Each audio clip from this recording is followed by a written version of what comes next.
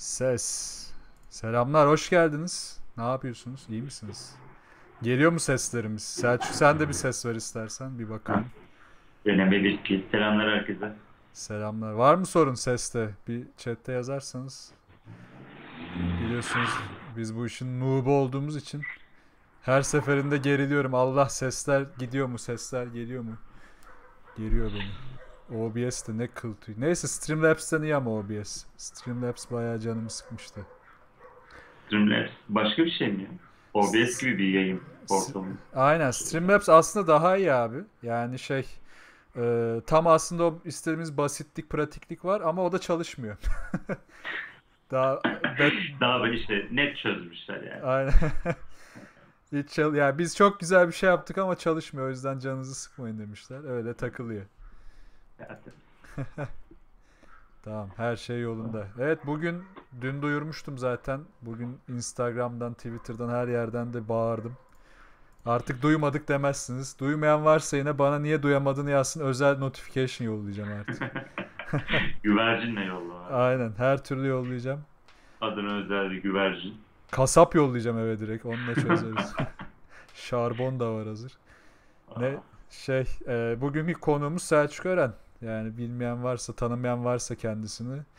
Sevgili kasabın, sevgili Şehzade Yangın'ın yazarı, çizeri, yaratıcılığıyla olsun, bugün yakışıklılığıyla olsun, milyonların kalbini çalmış. Baktım abi çizgi romandan para kazanılmıyor. Bari dedim yakışıklığınla birisini tavlarsak. Sanatıma sponsor olacak. Evet evet yayından sponsorluk ta- taleplerini alırız artık. Bu dolar kurundan sonra çizgi romanda Kosinski gibi, gibi takılacağım abi. Kosinski bilir misin? neyi? Pardon duyamadım. Kosinski diye bir şey Ha, var, evet. yazar var ya öyle. Evet evet biliyorum. Onun gibi işte nasıl bir zengin bir e, ablayla evlenmiş. Ha öyle mi? Onu bilmiyordum yani yazarı Evet. biliyorum. Yani zengin bir ablayla evleniyor abi. Ondan sonra bir noktadan sonra Boyalı Kuş kitabında anlattığı hikayenin yalan olduğu ortaya çıkıyor. Aa Aynen. Ondan sonra işte hem kadınla arası bozuluyor hem de şey insanlarla olan iletişim bozulduktan sonra abi kafasına poşet geçirip kendini boğarak öldürüyor. oha. Yani bayağı da şey yani sert bir ölüm var. Hikaye güzel başlamıştı. Çok hüzünlü bitti. Sonra, sonra aynı olmasında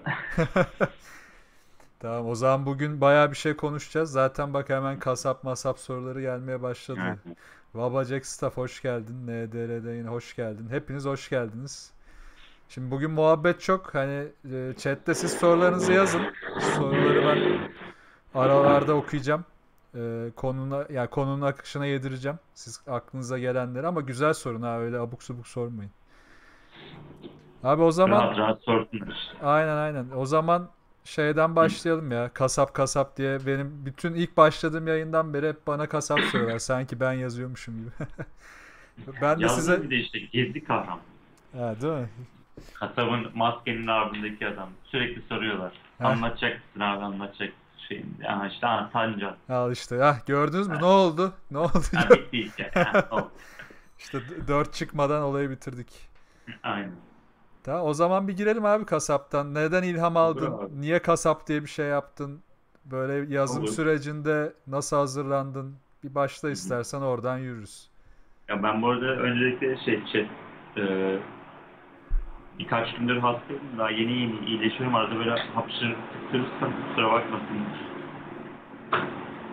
E, onun dışında da yani kasap aslında şey şehzade e, arkadan bir şey getiriyor. Evet. Sen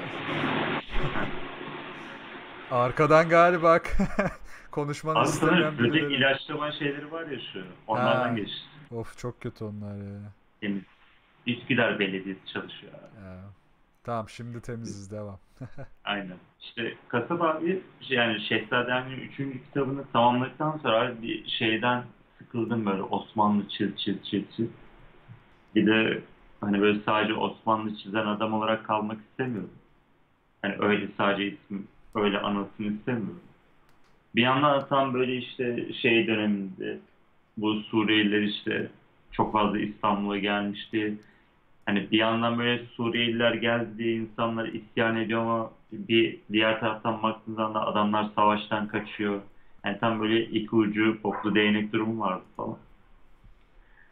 Sonra işte böyle hani daha günümüzde geçen İstanbul'da geçen bir hikaye yazsam nasıl olur falan diye de bir yandan kafamda bir şeyler çeviriyordum. Bu işte Suriye'nin İstanbul'u basması, işte bir yandan böyle İstanbul'da günümüzde geçen bir hikaye yazsam nasıl olur falan derken abi. ikisi kafamda birleşti abi. Kasabayı yazmaya başladım. Zaten göçmen sorunu dünyada birçok yazara iyi konu oldu yani. Ki bence değerli ya böyle şeyler. Çünkü e, işte dünkü yayını izleme şansın olduysa Comicsgate'i konuşurken Evet, işte iyi hikayeleri yazarken ne kadar gerçeklikten uzak kalabiliriz diye biraz tartıştık. Yani böyle bir sorun tüm dünyayı kaplamışken bundan iyi bir hikaye çıkarmak işte bence yazarlık başarısı. Aynen abi. Yani şey tabii hani ben hani şey iddiasında bulunamam ama çok iyi yazdığım, çok iyi işlediğim konuyu tabii onu ben söylemem. Bu hani okuyucunun karar vereceği bir şey. Ben hani elimden gelenin iyisini yapmaya çalışıyorum da. Ama şey konusunda haklısın abi. Yani günlük derdin yani yaşadığı dünyanın farkında olmadan hani bunun dışında bir şey üretecek olsam bile abi hani yaşadığın dünyanın farkında olmadan sen bir şey üretmen bana çok zormuş gibi. Yani böyle yapay kalınmış gibi geliyor. Hani dünkü yayında sen şeyden de bahsediyordun yani zamanda yazılmış X-Men'ler, Cartlar, yani mesela X-Men'in kökeninde zaten şey var mesela. Hani o 70'lerdeki, 60'lardaki bir de 50'lerdeki o ırkçı yaklaşımlar ortaya çıkmış. Yani onu dert edilmiş adamların bunu fantastik şey çevirdiğini görüyoruz. Yine temizlikçiler geldi ya. Aynen abi. Sanırım şey kö kökünü kurutacak.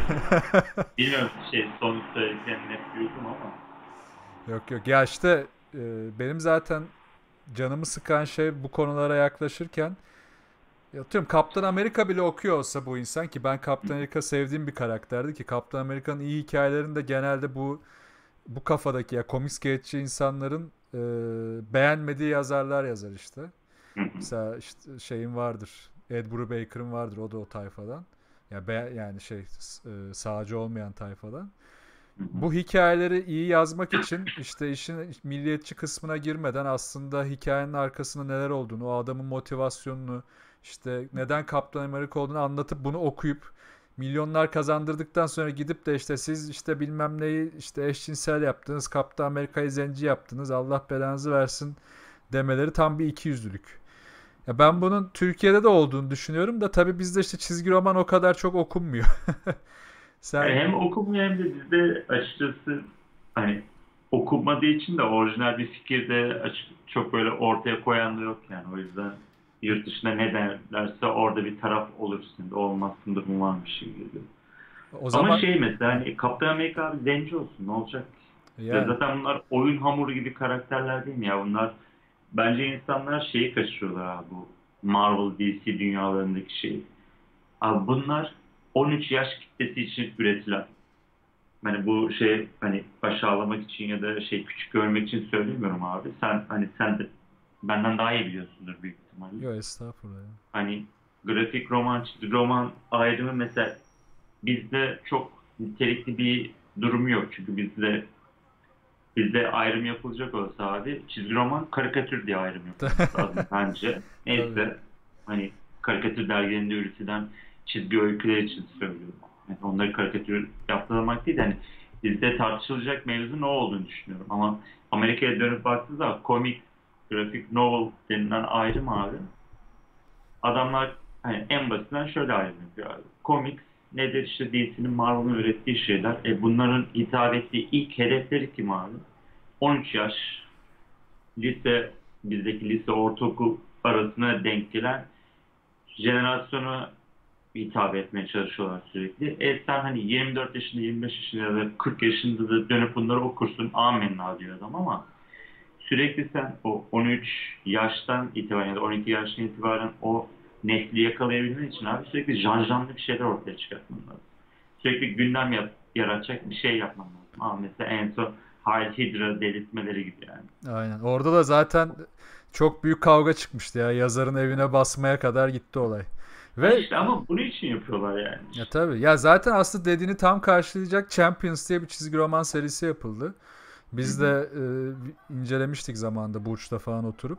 Champions ha eyvallah. Champions'ta şey var. Zaten bu yeni bütün karakterlerin e, zaten bazıları gençti. Onları direkt eklemişler. Bazılarının çocuklarını, bazılarını da işte farklı hallerini ekleyip çok güzel bir tam böyle gençlik çizgi romanı yapmışlar ve gerçekten çok iyiydi. Yani sıfırdan yaratılmış, farklı karakterin içlerine yedirip iyi hikayeler yazılmış. İşte onların telefonla oynamasından tut da işte ilk kez öpüşmesine kadar her şey tam böyle gençliğe hitap edecek şekildeydi. Ama işte bunun dengesini tabii ben şeye inanıyorum abi bu arada. Ne Marvel ne DC bunlar e, süper e, iyi insanlar değiller. Yani insan olarak tanımlarsam bunlar Evil Corp yani insan da değil.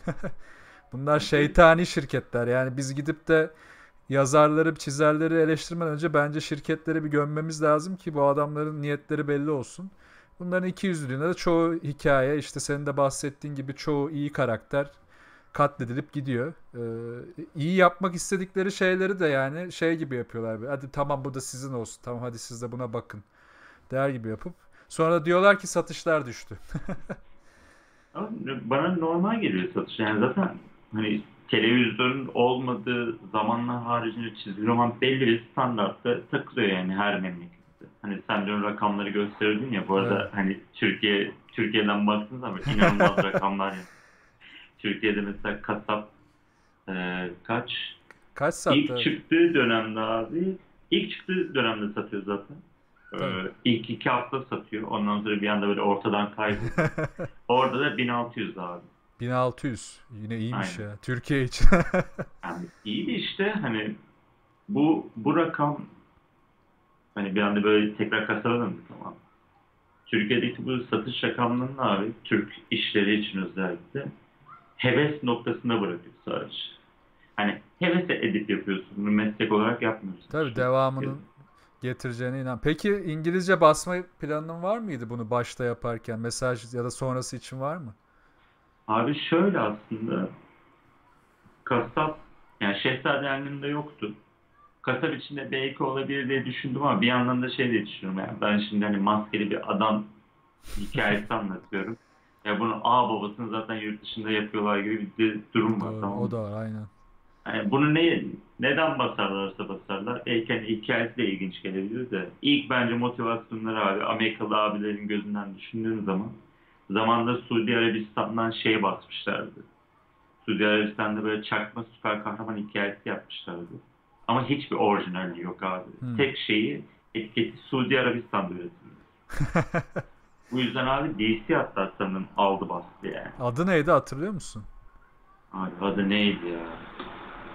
Bakayım. Ben hiç duymamışım onu ya. Çok eski ama ya 2005, 2006, belki 2008 falan civarlar yani. Ha, o bayağı. Ha, A- Bu bayağı Arabistan. eski yani. Arabistanlı Lawrence değil mi? Çirkin. İlk çizgi. Abi şu anda bu böyle bakıyorum bir yandan da. Tamam, ben Yani neyse hani böyle bir tamam. motivasyonla basılırsa basılırmış gibi geliyor bana. Ya belki şey de olabilir ya da sen e, bence bu arada şey samimi yorumum yani ilk kitapta ya ilk fasikülde çok içine giremedim ben ama 2 ile 3'ü çok beğendim. Ya eyvallah. Yani 3'ü özellikle de beğendim zaten. Belki yani gerçi nerede bitireceğim bilmiyorum ama bitireceğin noktada belki biraz daha e, Avrupa ekseninde ya da Türkiye ekseninde bir noktaya çekersen hani biraz ilgi çekebilecek biraz böyle milletin e, kafasına vurabilecek bir noktaya çekersen belki sunduğunda yabancı bir şirketin ilgisini çekebilir. Abi şöyle aslında eee, maalesef abi Türkiye'de önceden böyle başlanıp yarım kalmış projelerden dolayı yurt dışından mesela Şehzade Ergin'de oldu bir İtalyan bir e, İtalya'daki yayın evleri için Türkiye'de çizgi roman bakan bir e, hanımla hanım abayla tanışmıştık bir Kadıköy'de e, arka odada. Ha. Orada böyle çizgi roman ne, çizgi roman günü gibi bir şey yaptılar abi. Ha günlük hatırlıyorum bir onu. Evet hatırladım onu. Aynen işte orada tanıştık, karşılaştık. Kız e, birinci kitabı aldı. Aa bu kitap çok iyiymiş. Hani bunun için konuşalım, görüşelim dedi işte. O esnada işte şey bilgisini verdim. Hani toplamda 6 kitap olacak falan diye. Aa tamamlanmadım dedi. Ha, Yok dedim öyle tamamla hani daha var tamamlaması. Bir de o zaman daha ikincisi yeni çıkmıştı. Daha dedim 4 kitap var falan. O zaman tamamlanınca tekrar konuşalım dedi. Ya direkt attı yani. Demek E ki çünkü güvenmiyorlar abi ha, şeye. doğru. Çok fazla yarım proje kaldığı için. Ya George R. R. Martin'e bile yapılanları görünce Aynen. adam kitabı yazmıyor diye vuracaklar neredeyse. Yani tabii bu Ya taleple de ilgili. hem taleple alakalı hem de mesela şeylerim var abi. Mesela Fransız bir adam çizgi roman yaptığı zaman abi hani devam eden bir seri ürettiğinde onu alıp basıyor abi. Çünkü güveniyor o Fransız adam. O Fransız hani bireysel olarak üretmese bile abi gidip ikinci bir Fransız abiden gelip yine şey yapıyor. Hani devam edecek bir seriyi basıyor ama Türkiye'den gelip şey yaptığında bir böyle hani bir mesafeye duruyorlar. Birazcık o geçmişte yaşanılan hayal kırıklıklarının öyle bir etkisi var maalesef. Ya doğru. Şimdi Fransız deyince zaten konu şeye geliyor ya. Onu dün de biraz konuştuk. Hatta ben de sana soracaktım hazır konusu açılmışken. Böyle zıplaya zıplaya gidelim şey yaparız. Yine döneceğiz Aynen Şehzade yerlerine toparlarız ya. falan. Şey e, işte bizdeki mesela sorun bir birlik yok zaten hani çizer yazar. Zaten Türkiye'de çizer yazar ayrımı hiç yok neredeyse. Ben bilmiyorum hani yazar adı altında biri var mı çizgi roman dünyasında? Benim bildiğim yok Türkiye'de. Abi Hakan Tacal var. Var mı? Evet, Hani şey ama hani Hakan Tacal dediğimde çapa döneminden yani. Yani. Abi şu yani olmamasının hani tabii ki şeyler falan var bu yabani dergisinin özellikle Devrim Kunter'in yaptığı orada çok fazla böyle Ya orada ortak var tabii. iş yapan Hı hı. insan çıktı. Ama hani şu anda mevcut devam eden birileri var mı öyle açıkçası bilmiyorum. Yani İşte Türk şeyler. evet, ya pro seviyede çok az var varsa da. Aynen olmamasının sebebi ama şey yani Levent Çantek mesela var. Ha doğru evet evet doğru diyorsun Levent Yani ama şey durum var abi hani profesyonel bir sektör olmadığı için hani insanlar böyle hani işinden arta kalan zamanda yapmaya çalışıyor. E, Öyle olunca da sadece böyle profesyonel olarak çizgi roman yazarlığı yapan bir adam ben bilmiyorum. Yok. İşte sektör olmadığı için de işte Fransızlar, İtalyanlar hatta es, yani Yugoslavya'dan kopmuş artı ya şu an Sırbistan'da bulunan yazarların, çizerlerin yarattığı gibi bir ekolümüz ya da işte bir ekol olmasına gerek yok. Bir tabanımız yok. Yani bu iş Türkiye'den çıkmış dedirtebilecek bir işaretimiz bile yok. Bence bunun tabii işte o hanımefendi de yarattığı ana sıkıntılardan biri. Bugün dediğin gibi Fransız yazsa orada bir ekol var. İtalya'da bir ekol var. Belçika'da bir şeyler var. Bunlar olmadığı için hiçbir zaman yürüyemeyeceğiz gibi geliyor bana. Yani bizdeki ekol abi aslına bakarsan karikatür dergilerinde ağırlık olarak Karikatür ayrı aynen. Orada para kazanılıyor çünkü. Para kazanıldığı için abi sürekli bir şey var. Üretim var. Farklı farklı insanlar da geliyor. E, farklı farklı insanlar bir yere geldiği zaman abi ister istemez fikirlerin çatıştığı ya da bir araya geldiği ortamlar olmaya başlıyor. E, Böylece sen de o tarz dediğin ya da bir ülkeye ait o kültür dediğin şey oluşmaya başlıyor. Öyle. Çizgi roman öyle bir şey yok ama. Yok işte. Ya karikatür bir de çok eski Türkiye'de zaten. Çizgi roman işine bakarsan çok yeni. Ama karikatür harbiden çok eski. Ve karikatürün de zaten bütün beslenme noktası Türkiye'de politikadır, siyasettir, ikilemlerdir. Bunlardan beslenerek zaten her zaman kendine yer edinmiştir ki gazetelerin köşesinde bile hep okunurdu yani. Ben hatırlıyorum babam falan direkt okurdu yani. Hepsini de bilirdi. Şimdi çizgi roman göstersen yaşlı birine suratına bakmaz. Yani- ya da nostaljik bakar yani. Ha ya da Yani ya da. zamanında var falan diye. Ya işte hani zamanında abi aslına bakarsan Türkiye'de 80'lere kadar bir çizgi roman dünyası var. Biraz böyle sinemadan dolayı tabii ki hani bu 70'lerdeki kadar şey olmamış. Hani bir noktadan sonra azalmaya başlamış. Hele bir de evlere televizyon girdikten sonra ama yine de bir üretim var. Mesela şey gazetelerin satışlarını çok etkiliyor zamanında. Hı hı. O yüzden gazetelerde profesyonel yazan çizen adamlar var. Kendi bünye, bünyelerinde barındırıyorlar. İşte bu hani Battal Gaziler, Evet. Kara Muratlar, Caddar Rıta bunun hepsi aslında gazetede üretilen şeyler. Tarkan bildiğim kadarıyla değildi. Tarkan şey direkt böyle fasikül forması. Tarkan'ın kitabı vardı, evet. Aynen. Ama şey vardı hani çoğu hani yanlış anlamasınlar ama hani çakma işler yapıyorlardı. Şey yani birebir yurt dışından gelen çizimler üzerinden üretilen çok fazla iş vardı. Orijinal iş üretenlerin yanı sıra. Ama yine de bir şey yani Türkiye'de böyle para kazanılan bir şey durumu vardı. Ama 80'lerden sonra abi tabii o dönemki yaşanan siyasi olayların da etkisiyle bir anda ortadan kayboluyor. Sinemada olduğu gibi. Ki zaten dünyada da çok etkilenmiş ya. Çizgi romanda kitapta hep böyle bakıyorsun 50'ler, 70'ler, 80'ler, 2000'lerin başı gibi hep böyle bir düşüş var. Her şey etkileniyor. Ki bunlar da genelde baktığında hep şey ben hani ekonomi okuduğum için tarihini biraz biliyorum. Hep böyle krizlerin, kapitalizmin yenilenmesinin işte ya da işte dünyadaki diğer ekonomik çalkantıların olduğu dönemler. Zaten bizi de bildiğin gibi yani şu anda da olduğu gibi dünyayı çarpı 2 etkiliyorsa bizi çarpı 10 etkiliyor. Orada da direkt patlıyoruz. Peki şimdi Şehzade Yangını'nı konuşuyorduk. Oraya bir zıplayacağım. Ee, orada şunu sormak istiyorum sana. Yani Şehzade Yangını'nı ben okurken e, özellikle farklı panel kullanımı işte daha böyle konuşma balonlarını falan çok farklı kullanma açıkçası çok hoşuma gitti. Eyvallah. Bu Scott McCloud'u seninle konuştuk yayından önce. Mesela o şey der. Çizgi romanda belirli bir şeye sık- sıkışıp kalmak gerçekten çok saçma. Çünkü çizgi roman aslında bir yazara da çizere de çok geniş alan veren bir yer. Bir mecra. Bir sanat aslında ki zaten bu yayında da bir çizgi roman sanat ilişkisine değineceğim. Onu bir tartışırız yine. Ama ben yani genelde gördüğüm e, ana akım çizgi romanlarda, bağımsızlarda hep aynı tip panel kullanımı, aynı tip konuşma balonu. Yani çok az kendini kıran, çok az farklı işler yapmaya çalışanlar oluyor. Sence neden? Hani ya da sen böyle Şehzade Yangını yaparken ne düşündün farklı yaparken? Ama Şehzade Ermin'i yaparken aslında şey datasını vermem gerekiyor. Şehzade Ermin'i ilk başladığında ben okulda diploma projesi olarak yapmaya başladım Şehzade hı. Orada da ben grafik tasarım bölümünü okudum işte. Ben daha ilk derste götürdüm koydum önüne. Hoca dedi ki tamam dedi hani istersen bir daha gelme bu proje tamamlanmış hani bir, bir şeye de sun dedi yani açık açık. Ben hep yok dedim hani ben formu zorlamak istiyorum hani birlikte biraz kafa patlatalım. Emre Senan'dı hocam. O da şeydi yani illüstratördür, iyi de işleri olan bir insan. Ee, Neyse hani böyle de illüstra- illüstrasyonla uğraşan bir karşında bir büyüme olduğu için birlikte formuna kadar zorlayabiliriz. Üzerine kafa patlatırız diye. O işte hani balonlarla oynadığımız işte aslında ben diploma projesini sunarken orada daha agresif bir durum vardı. Her Nasıl? karakterin kendi tipografisi vardı mesela. Aa güzelmiş.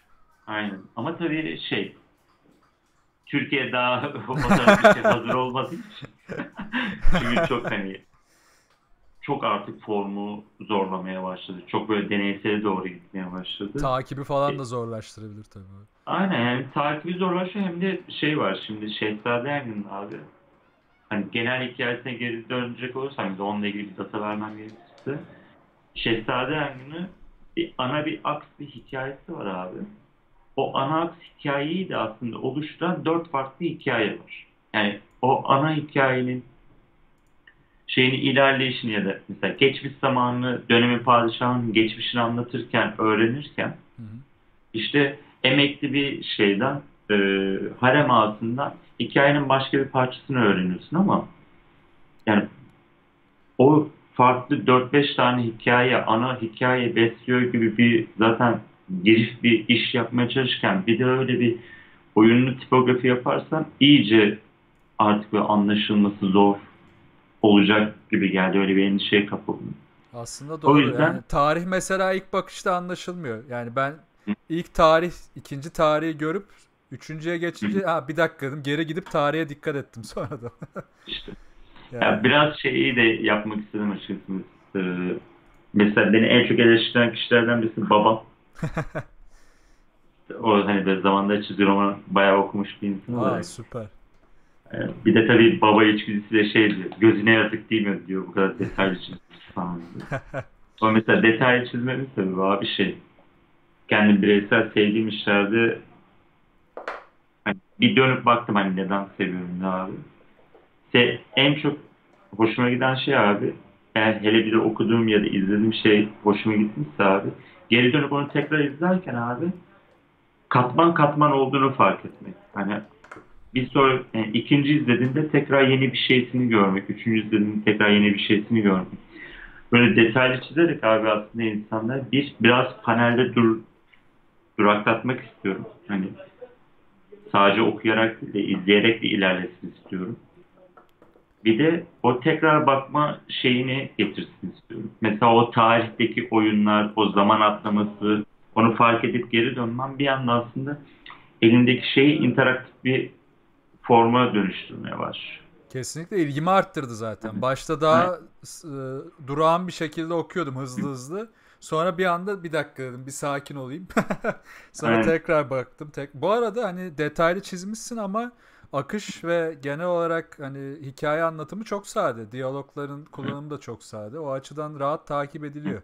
Ama işin teknik tarafında evet daha bir interaktivite var.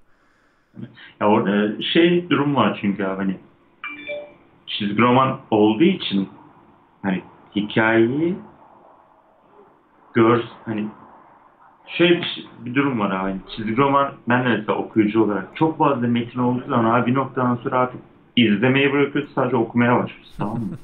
hani, hani çizdiğin şey bir anda süslemeye dönüşmeye başlıyor. Aslına bakarsan hani o paneli çizdiysen o hikayeyi besleyen bir şey olması lazım. Aynı şey mesela sayfa tasarım için de mevzudayız. Panel tasarım için de mevzudayız. Balonların yeriyle alakalı mevzudayız. Yani o sayfada gördüğün her şey aslında abi anlatmak istediğin hikayenin enstrümanları. Ve mesela ikinci kitaptaydı galiba. Bayağı bir diyalogsuz bir bölüm var. Ee, ve tamamen görsel. Bak hemen işte araya mesela konuşacağımız biz çizgi romanı sokayım yani Şehzade. Gippy'nin Oğulların Diyarı yani okumuşsunuz. Aynen. Yani o o kitaptaki akış, o kitaptaki anlatım. Ya bir yer var ortalarına doğru. Dört tane arda arda panel var. içi bomboş ve beyaz.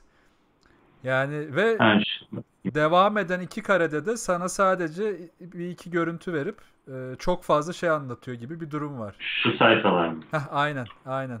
Aynen.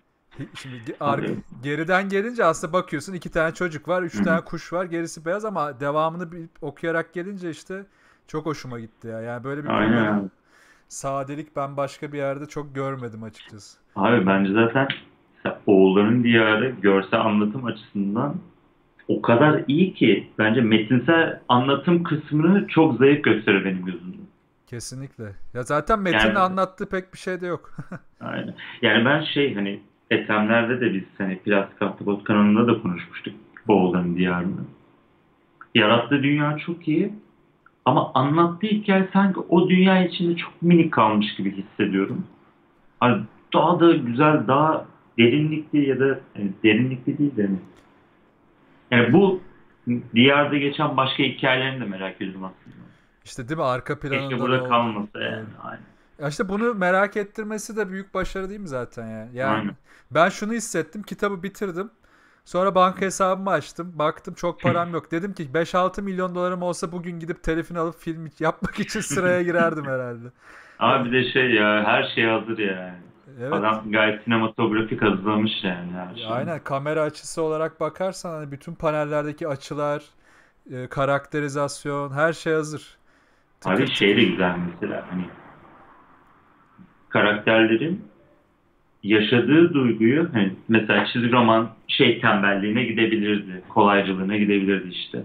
O iç üzüntüsünü ya da babasıyla olan ilişkisiyle alakalı data vereceği zaman abi ya da sorun yaşadığı zaman abi bir tane kutunun içine yazabilirdi. Aynen. konuşma balonu içerisinde.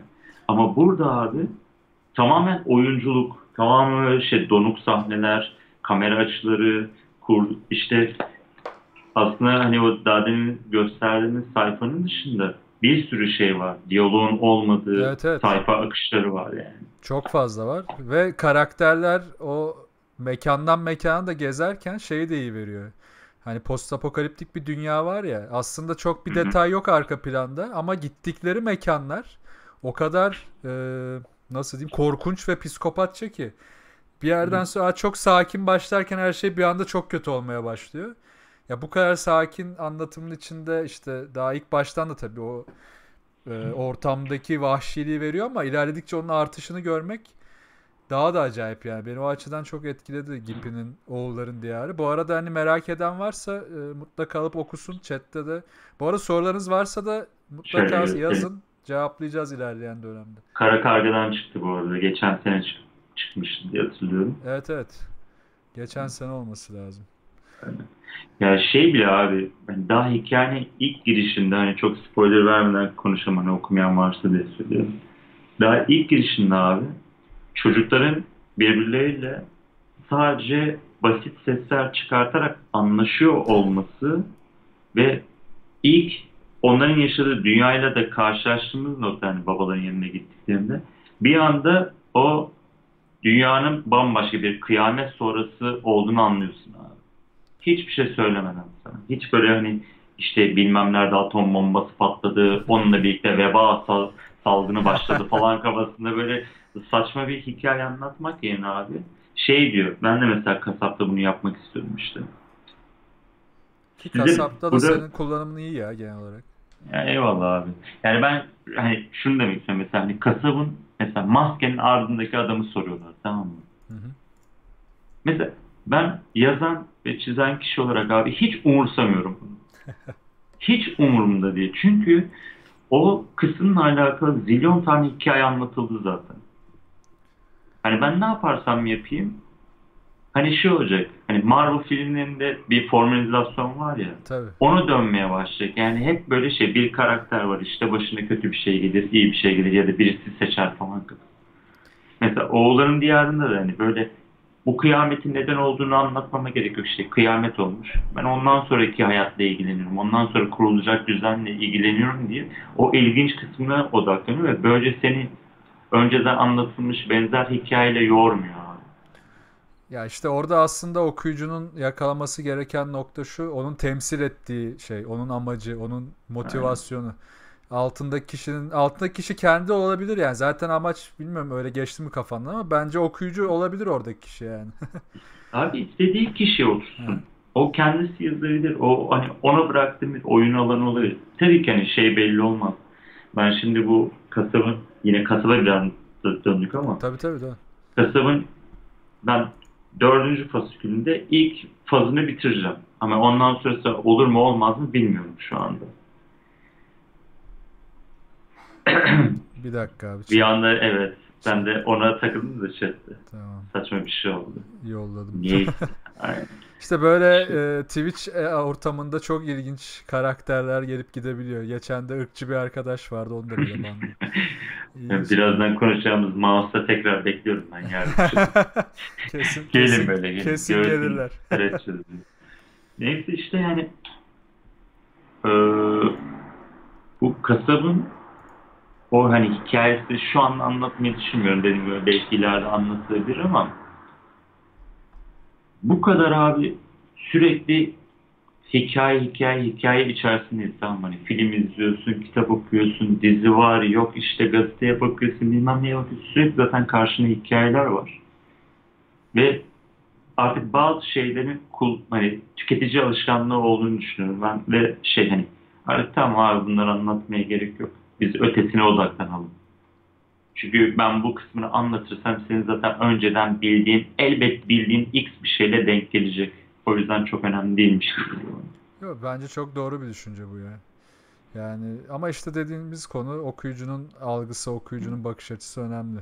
Ki Şehzade Yangın'ı bu arada sen de söyledin zaten. Hani hı. Türkiye'de ilk çizgi roman yazılmaya başlayınca ilk gidilen taraf Osmanlı, Yeniçeri. Hep birçok kişi bunu denedi. Şey yaptı ya da ilk yani mesela gelen fikirler de öyle. Ben de arada konuşuyorum sağda solda insanlara. Abi bir Yeniçeri hikayesi olsa acayip olmaz mı falan diye. ya işte Abi e, talepler çok ilginç ya orada bizde. Abi ilk işte şey hani birkaç defa böyle geçen sene icabta falan da konu- konuşmada bahsetmiştim belki chatte olup dinlemiş olan vardır. Bizim bazı klişeleri yaşamamız lazım abi. Mesela hani Osmanlı'da geçen çizgi roman. Yok işte süper kahraman hikayesi neden bu memleketten çıkmıyor? İşte Puslık'ta Atlas'ı ne güzel çizgi roman olur. Mesela benim 2007 yılında işte ben güzel sanatlara hazırlanmaya başladığım dönemde Ethem'le bile biz konuşuyorduk şeydi.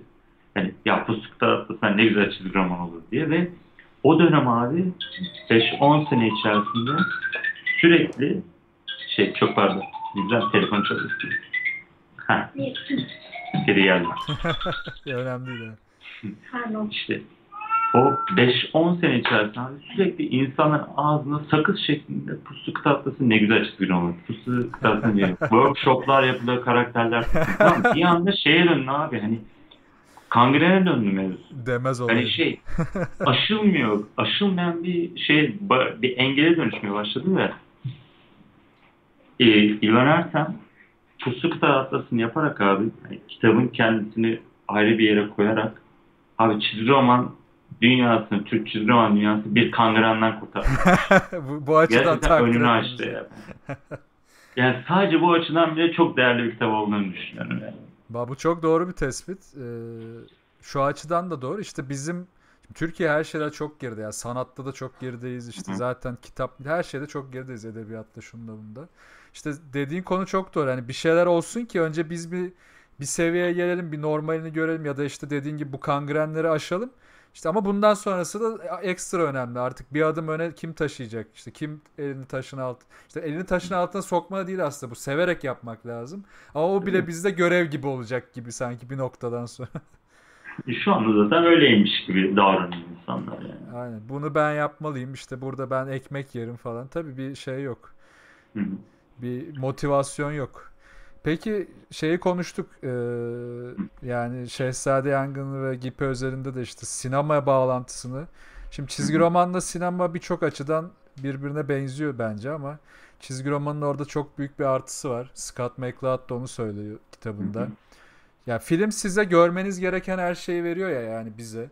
Ama çizgi romanda o closure denen olay işte arada sen boşluklar bırakıyorsun ve okuyucu senin e, kullandığın paneller arasındaki boşlukları ya da onun arka planını ya da işte orada bir kapı varsa onun dışında ne olduğunu bir efektten ya da bir sesten ya da işte başka birinin diyaloğundan kendi kafasında kurarak hayal edebiliyor.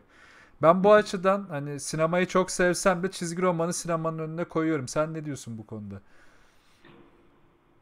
Ya ben açıkçası şey ayrımını bana şey anlamında hani üreten kişi olarak çok e, manalı gelmiyor. Hani sinema ile çizgi romanı doğrudan birbiriyle karşılaşmak. Çünkü şöyle bir şey var abi. Bunların aslında hepsi bir anlatım aracı ya. Tabii. Ya ben sanatçı olarak şey gözle bakıyorum abi. Yani sen müzikte yapsan, kitapta yazsan, çizgi romanda yapsan abi aslında bunların hepsi bir araç. Önemli olan senin ne dediğin ve nasıl söylediğin. Hani bu yüzden çizgi romanın mesela güçlü olduğu yerler var, sinemanın güçlü olduğu yerler var.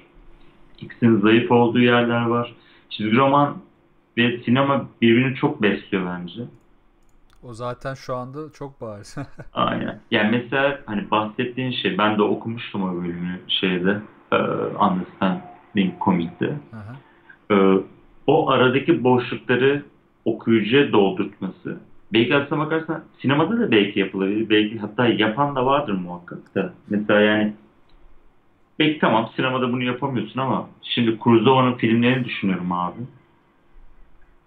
Mesela büyük kitle hareketleri kullanıyor ya bazı sahnelerinde dramatizm, dramatik yapıyı daha da coşturmak için. Hı hı. Böyle sallıyorum işte büyük ordular kullanıyor. Yani böyle bir de CJ'in falan böyle çok olmadığı dönemler. Ya da böyle çok böyle daha bebek adımları yürüdüğü dönemler. Çok Akira değerli. Kurosawa'dan bahsediyorum yani. İşte ya da abi bütün figürasyon duruyor abi. Sadece arkada bir bayrağın rüzgarda savrulduğunu görüyoruz tamam mı? Yani tamam çizgi romanda da ben öyle bir panel çizebilirim ama o bayrağın savrulmasını yapamadığım için abi o sahnedeki dramatizmi yakalayamam. E, zor. Evet bir şey yakalarım ama ya da duran bir karakter var, düşünüyor. Arkada böyle şey yağmurun yağdığını görüyorsun. O yağmurun şiddeti aslında karakterin duygusal o esnadaki derdini besleyen bir şey belki de. Yani bu tarz böyle abi evet çizgi romanın da çok güçlü olduğu yerler var. Sinemanın da kendi formu içerisinde iyi kullanabildiği enstrümanlar var. O yüzden çok böyle birbirleriyle karşılaştıracak şeyler değilmiş gibi geliyor bana. Ya zaten derdim karşılaştırmaktan çok işte birbirlerinin e, teknik olarak önüne geçmesi. Hani beni Hı hı. tüketici olarak tatmin ettiği nokta. Bunu da şuna bağlayacağım. Aslında Hı. cevabın çok güzel oldu. Son dönem sinema yani son 15 yıldan bahsediyorum. Son 15, hatta 2000 sonrası diyelim. İşte çizgi roman olarak beni etkileyen eserler deyip bir kenara koysam işte ve sinema olarak beni etkileyen eserler desem işte o zaman mutsuzluk oluyor. Yani sinemanın geldiği nokta özellikle şu tüketim ortamında ki yani çizgi romanda da tabii ki böyle ama ana akım içerisinde de bazı bağımsız çizgi romanlar Image sayesinde çok kaliteli işler barınabiliyor ama sinemada bu neredeyse bitti. Yani sinemada çok iyi bir otör yönetmen değilsen ya da işte geçmişten gelen bir adın yoksa senin bahsettiğin gibi filmleri yapmak zaten çok zor. Geri kalan da işte çizgi romanın beslediği e, ve bir noktada artık çok bayık olan sinema filmleriyle doluyor. İşte esas aslında gelmek istediğim nokta buydu. o mutsuzluk. Şey yani ben açıkçası oradaki sorunsa da şöyle görüyorum abi ben hani tüketen kişide de biraz şey beklentisinde sıkıntı varmış gibi geliyor bana. Mesela büyük stüdyolardan abi seni bir sanat olarak etkileyecek filmler beklemek bana artık günümüz dünyası için çok şey gelmiyor, doğru gelmiyor. Sebebi de şey abi, bu DC, Marvel ya da Universal, işte 20 Fox falan filan, ee, bu şirketler abi artık kendileri bir organizma olmuşlar abi. Hani böyle hani başta birileri var, karar veriyor, evet. Ama böyle artık o organizma kendi içerisinde bir üretim mekanizması var. Tamam O mekanizmada tamamen para kazanmaya bakıyor. Disney ya da işte tamam. Sen abi eğer sanat sanat olarak ya da hikaye olarak seni doyursun istiyorsan abi bence daha minik filmlere dönüp bakman gerekiyor. Ben mesela en son şey izledim. Fatih Akın'ın Paramparça filmini izledim. Yani son dönemde izlediğim en iyi filmlerden bir tanesi. Çok basit bir hikaye anlatıyor. Çok yalın anlatıyor. Ama şey yani o koca koca Avengers Infinity War'unu falan sana hiçbir şekilde veremeyeceği o duygusal tatmini yaşatıyor. O zaman ben de Mesela hemen yani, şey örneğini vereyim. Şey ya. Tolga Karaçelik'in Kelebeklerini izledin mi? Yok onu daha izleyemedim abi. Daha fırsat bulamadım. Bence izle. Ben Türkiye'den öyle bir film çıkmasına çok şaşkınım hala. Ee, ve Tolga Karaçelik'in ben çok önün açık olduğunu düşünüyorum. Tam dediğin benzer bir şekilde de beni o film etkiledi. Tabii Fatih Akın da Türk bir yönetmen ama ama onun hadi yetiştiği yer ve itibariyle hani biraz daha şey Almancı futbolcu gibi bizim için. Yok ben şey hani Türk Türkiye'de üretilmiş iş Yo, anlamında söylememiştim. O, ben de ondan demedim de hani şey için şimdi Türk yönetmen dedim ya yanlış anlaşılmasın ya sanki Fatih Akın Türk değil mi şimdi kesin biri atlar o yüzden.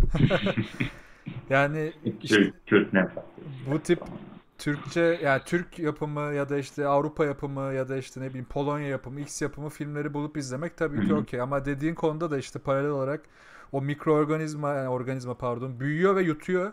Yuttukça da işte bir noktada bence şeyi çözemiyor ki bu Star Wars'ta yaşandı bence.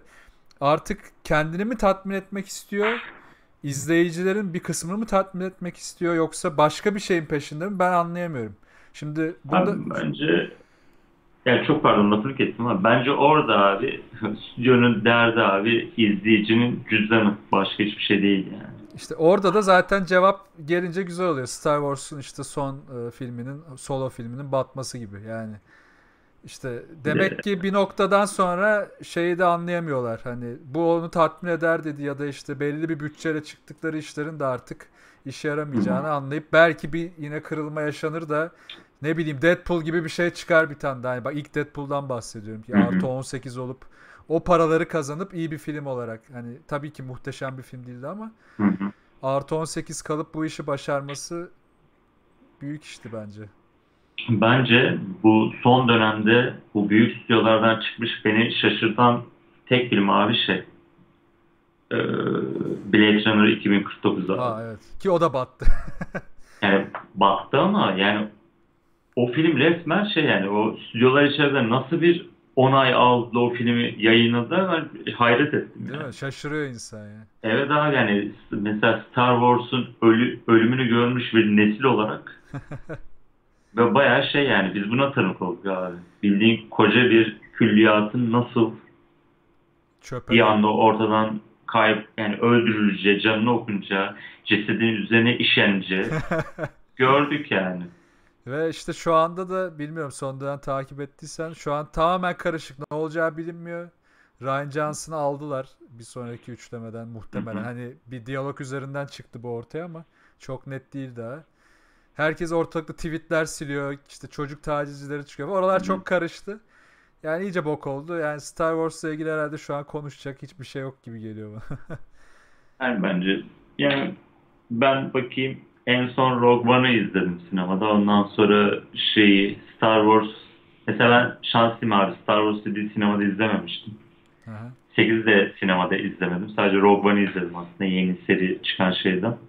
O yüzden böyle şey aman aman işte Çok çok yani. şanslıymışsın var. Aynen. Ben bir kez bir şey söyleyeyim mi aslında? Ben çok büyük bir Star Wars fanı değilim. Ben Star Wars'tan üretilen espriyi çok seviyorum. Esprileri o şey. O bir kültür var ve ondan sürekli bir Tabii. espri üretiliyor ya. O bence daha değerliymiş. Kesinlikle öyle ya. O dünyadan çıkan o tip yan ürünler her zaman daha iyi olur zaten. İşte mesela Star Wars'un hayranı bir insan abi. Star Wars 7'yi izledikten sonra bence bir daha şey Disney ürettiği hiçbir Star Wars şeyini tüketmemiz lazımmış gibi geliyor bana. Ben zaten söz verdim kendi kendime. Gitmeyeceğim dedim. Yani mesela işte Villeneuve falan vermezlerse Star Wars'u bundan sonra anca Villeneuve verirlerse giderim. Başka Abi o bir... da çok ağır bir Star Wars çıkartabilir ya. Abi yani Ona Star onu- Trek versinler abi. Star Trek, Star Trek de olur. yani. Aynen. Star Trek de olur. Deliler gibi yürür. Allah'ım şu Tarantino Trek'i çok merak ediyorum. İnşallah iptal olmaz. dedi. bir korku var Ay. değil mi sende de bir şey abi olursa? olmasın ne olur olmasın. Yani en sevdiğim yönetmen yani. Tarantino'nun diğer filmi de şu an bayağı devam ediyormuş agresif bir şekilde. iyi gidiyor Hı. diye haberler çıktı. Abi bence zaten kafadan yani Brad Pitt ve Leonardo DiCaprio'ya sen nasıl bakıyorsun bilmiyorum ama ben, Ben severim o iki Ben de oyuncuyu çok severim ya. Hele bir noktadan sonra gerçekten şarap gibi oyuncu oldular onlar. Hani en başta böyle çok genç kızların yatak odası rüyaları derdi. Ama bir noktadan sonra o kadar iyi filmlerde oynamaya başladılar ki herkesin bir anda saygısını kazandılar yani. Inglourious Basterds'taki Brad Pitt favorimdir ya zaten. Oradaki Aynen. o aksanı falan öldürüyor beni. Orada şey ya benim favorim şu Alman abi. Ha, e, neydi adı? Neydi? Christopher Waltz. Yok. Waltz'tu galiba değil mi? söyledi? Waltz muydu? Waltz da neyse su- ya, Evet. is- yanlış söylüyor olabilirim şu an. Emin Yani. Chatte yazarsanız bizim dede beyinlerimiz artık hafızalarımız takılıyor. O zaman şimdi çizgi romana biraz daha döneyim. Ben senin çizimlerinden devam edip sonra yine bir yere sıçrayacağım. Ee, şunu Okey. fark ettim bilmiyorum sana daha önce böyle bir şey geldi mi ama çok az çizmiş olmana rağmen ki ben hayvanlara çok dikkat ediyorum. Çok e, kendi köpeğim de var. E, Hı hı. hayvan dünyasında içindeyim hani e, barınakları falan da ziyaret ediyorum dönem dönem. Sen hayvanları bayağı iyi çiziyorsun ya ya da bana öyle geldi. Bilmem. Yani- Ya bende de iki tane kedi var şu anda evde. Ha tamam işte ondan olabilir. Alışığım sanırım şey hayvan formuna abi biraz. Ama şey böyle çizmek değil de hani sürekli gördüğüm için sürekli adamlarla muhatap olduğum için orası burası mıncıklarken isterseniz formu yakalamaya başlıyorsun. Bir daha abi ben 2000 bakayım 2011'den beri aralıksız çiziyorum. of 7 senedir. Yani renkten yani sadece çizgi roman üretmiyorum. Ben zaten çizgi roman 2014'ten beri var hayatımda. Ondan önce sürekli yani reklam ajansları için şey yapıyordum. Aslına bakarsan 2007'den beri neredeyse aralıksız çiziyorum. Çünkü okul hani okula hazırlıkla başlamıştım çizmeye. Hani okul dönemindeki tabii birazcık böyle hani ağır aksak çiziyorsun ama 2010-2011 döneminde ben tamamen böyle freelance profesyonel olarak bu işi yapmaya başladıktan sonra abi aralıksız sürekli çizdim. Hani böyle fig- insan figürü de çiziyorsun, bir reklam filmi geliyor, hayvan da var içinde falan filan derken noktadan sonra elin alışıyor yani. O anatomiyi çizmeye şey yapmaya. O zaman hemen araya şunu da sokayım. Kesin e, çizer olan falan olursa böyle chatte ya da sana gelen hep ilk soru oluyor. Abi işte nasıl çalışayım, ne yapayım falan. İşte duydunuz bak işte 11 sene aralıksız çizmeniz lazım. Öyle ben bugün çıktım yarın çiziyorum öbür gün Marvel'dayım olmuyor iş. Aralıksız o. Yok. Ya- çünkü benim çevremde de arkadaşlarım var çizer. Ve devamlı e, yani söz meclisten de sıramaz. Devamlı şöyle ağlıyor. Abi bana kimse gelmiyor. Bana hiç iş gelmiyor. Abi diyorum sen ne yapıyorsun? Abi işte ne bileyim ben de evde oturuyorum. İşte bir tane karakter çizip yanında üzüm yiyorum. İşte bir karakter daha çiziyorum. Bir, yeni çıktı. ha, bir armut kesiyorum. Biraz oturuyorum. Televizyona bakıyorum. Abi diyorum yani öyle yaparsan o iş olmaz zaten. yani mesela Yıldıray Çınar'dan da duymuştum ben bunu bir imza günde. Hani e, o da aynı şeyi söylüyor. Aralıksız çizeceksin ya. Başka bir şey yok bunun. Abi zaten hani bunun üzerine hayal kuruyorsa bu şey gibi şey futbolcu olacaksan abi o top ayağına yapışık olacak. Tabii. Çizer olacaksan elinde kalem sürekli olması lazım yani ya da hani elinde tamam kalem tutma tabii ki sürekli 7-24 printer gibi çizemiyorsun. Bunun da bir sınırı var ama hani kendini görsel olarak da yazı, metin olarak da sürekli beslemen gerekiyor. Çevrenin birazcık farkına varman gerekiyor. Ben hani okula hazırlık dönemiyle birlikte abi bir anda böyle şey hani trafik ışığındaki videoya bile dikkat etmeye başladım. Çünkü okulda hayalden çizmemi istiyorlar tamam mı giriş sınavında. E derse ki bana trafikte işte köpeğiyle gezen bir adam işte yanına da bir röportaj yapacak bir TV ekibi geliyor derse abi. Heh, sıçtın. benim oturup bunu çizmem gerekiyor. Ki bana böyle bir şey geldi. Parkta oturan yaşlı bir adam var. Bir kameraman var, bir spiker var. Röportaj yapıyorlar. Benim şey Mimar Sinan'a girerken ki Ha, sorulan sorulardan birincisi Ha, buydu. Direkt giriş sınavı yani. Uf. Yani tabii giriş sınavının şeyi buydu işte. Birinci aşaması bir de. Baraj, hani barajı geçip geçmeyeceğinin belli oldu. Yani ikinci aşamaya kalıp kalmayacağın belli oldu. Direkt. Tamamen hayalden çiziyorsun abi. Yani bu o bu sınava hazırlanırken işte abi o tarz detaylara dikkat etme alışkanlığı edinince bir de tabii mesela ben de yetenek diye söyleyebileceğim şey abi bu anlamda görsel hafızam güçlü. Hı hı. Yani bir şeyleri böyle hasbel yani birazını hatırlayıp geri kalan kısmı, kısmında işte kaynak popişim deyip uydurabiliyorum. Hani oradan bir şey bul, buradan bir şey bul falan şeklinde. Ki aslında buna bile çalışmışsın yani diyorsun işte evet. bakıyorum dikkat ediyorum. Dikkat etmesen belki ne kadar yeteneğin olsa da yine de tıkanabilirdin. İşte bu büyük başarı. Yani o yüzden işte hayvan çizimlerin benim çok ilgimi çekti. Belki Evet. ileride hayvanlarla ilgili bir şey tamamen onların odağında Olabilir abi. çizersin. Peki Olabilir. yine hani şimdi yine konusu açılmışken yine klasik bir soru ama benim çok merak ettiğim bir şey çizerlerde. Ya neyi çizmek seni çok zorluyor? Yani var mı böyle bir şey? Ya şunu çizerken abi harbiden elim çok zorlanıyor ya. Yapamıyorum. İyi çizer. Öyle Abi- şeyler oluyor mu? Oluyor. Mesela şey Şehzade Yangın'ın ikincisinde ayı dövüşünün olduğu bir şey. Yani ayı ve köpeklerin hatırladım. dövüştüğü bir sekans var direkt hatırlarsın. Orada abi o ayıyla köpekleri çizmeye çalıştığım yerde abi iki gün uğraşmıştım. Ben Böyle orada çiziyorum, siliyorum, çiziyorum, siliyorum, çiziyorum, siliyorum. Böyle sinirim bozuldu abi. Böyle yeteneksizim falan diyorum. Yalnız orada güzel bir detay yakaladım. Yerde yatan köpek işte karnını açıyor bir yerde. O, o, o bölümde değil de daha sonraydı galiba. Karnını açmış. Yani iki ön patileri kafa hizasında arka patileri yana doğru dönük. Yani köpekler genelde öyle yatar. Onu güzel yakalamışsın Ama- yani o detayı. Ya tabii orada şey de var abi yani mesela çok çoğu çizer de kullanır bu tekniği abi. Foto, fotoğraflardan şey de yapıyoruz tabii ki. ha tabii Yani referans aldığın yerler de oluyor. Yani çünkü hani her şeyde böyle ezberden bilmen imkansız. Hı hı. Hani orada tabii bir şey var. Hani bence ahlaki bir durum var ama bu bireysel bir şey. Yani birilerini suçladığım için ya da hor gördüğüm için falan değil.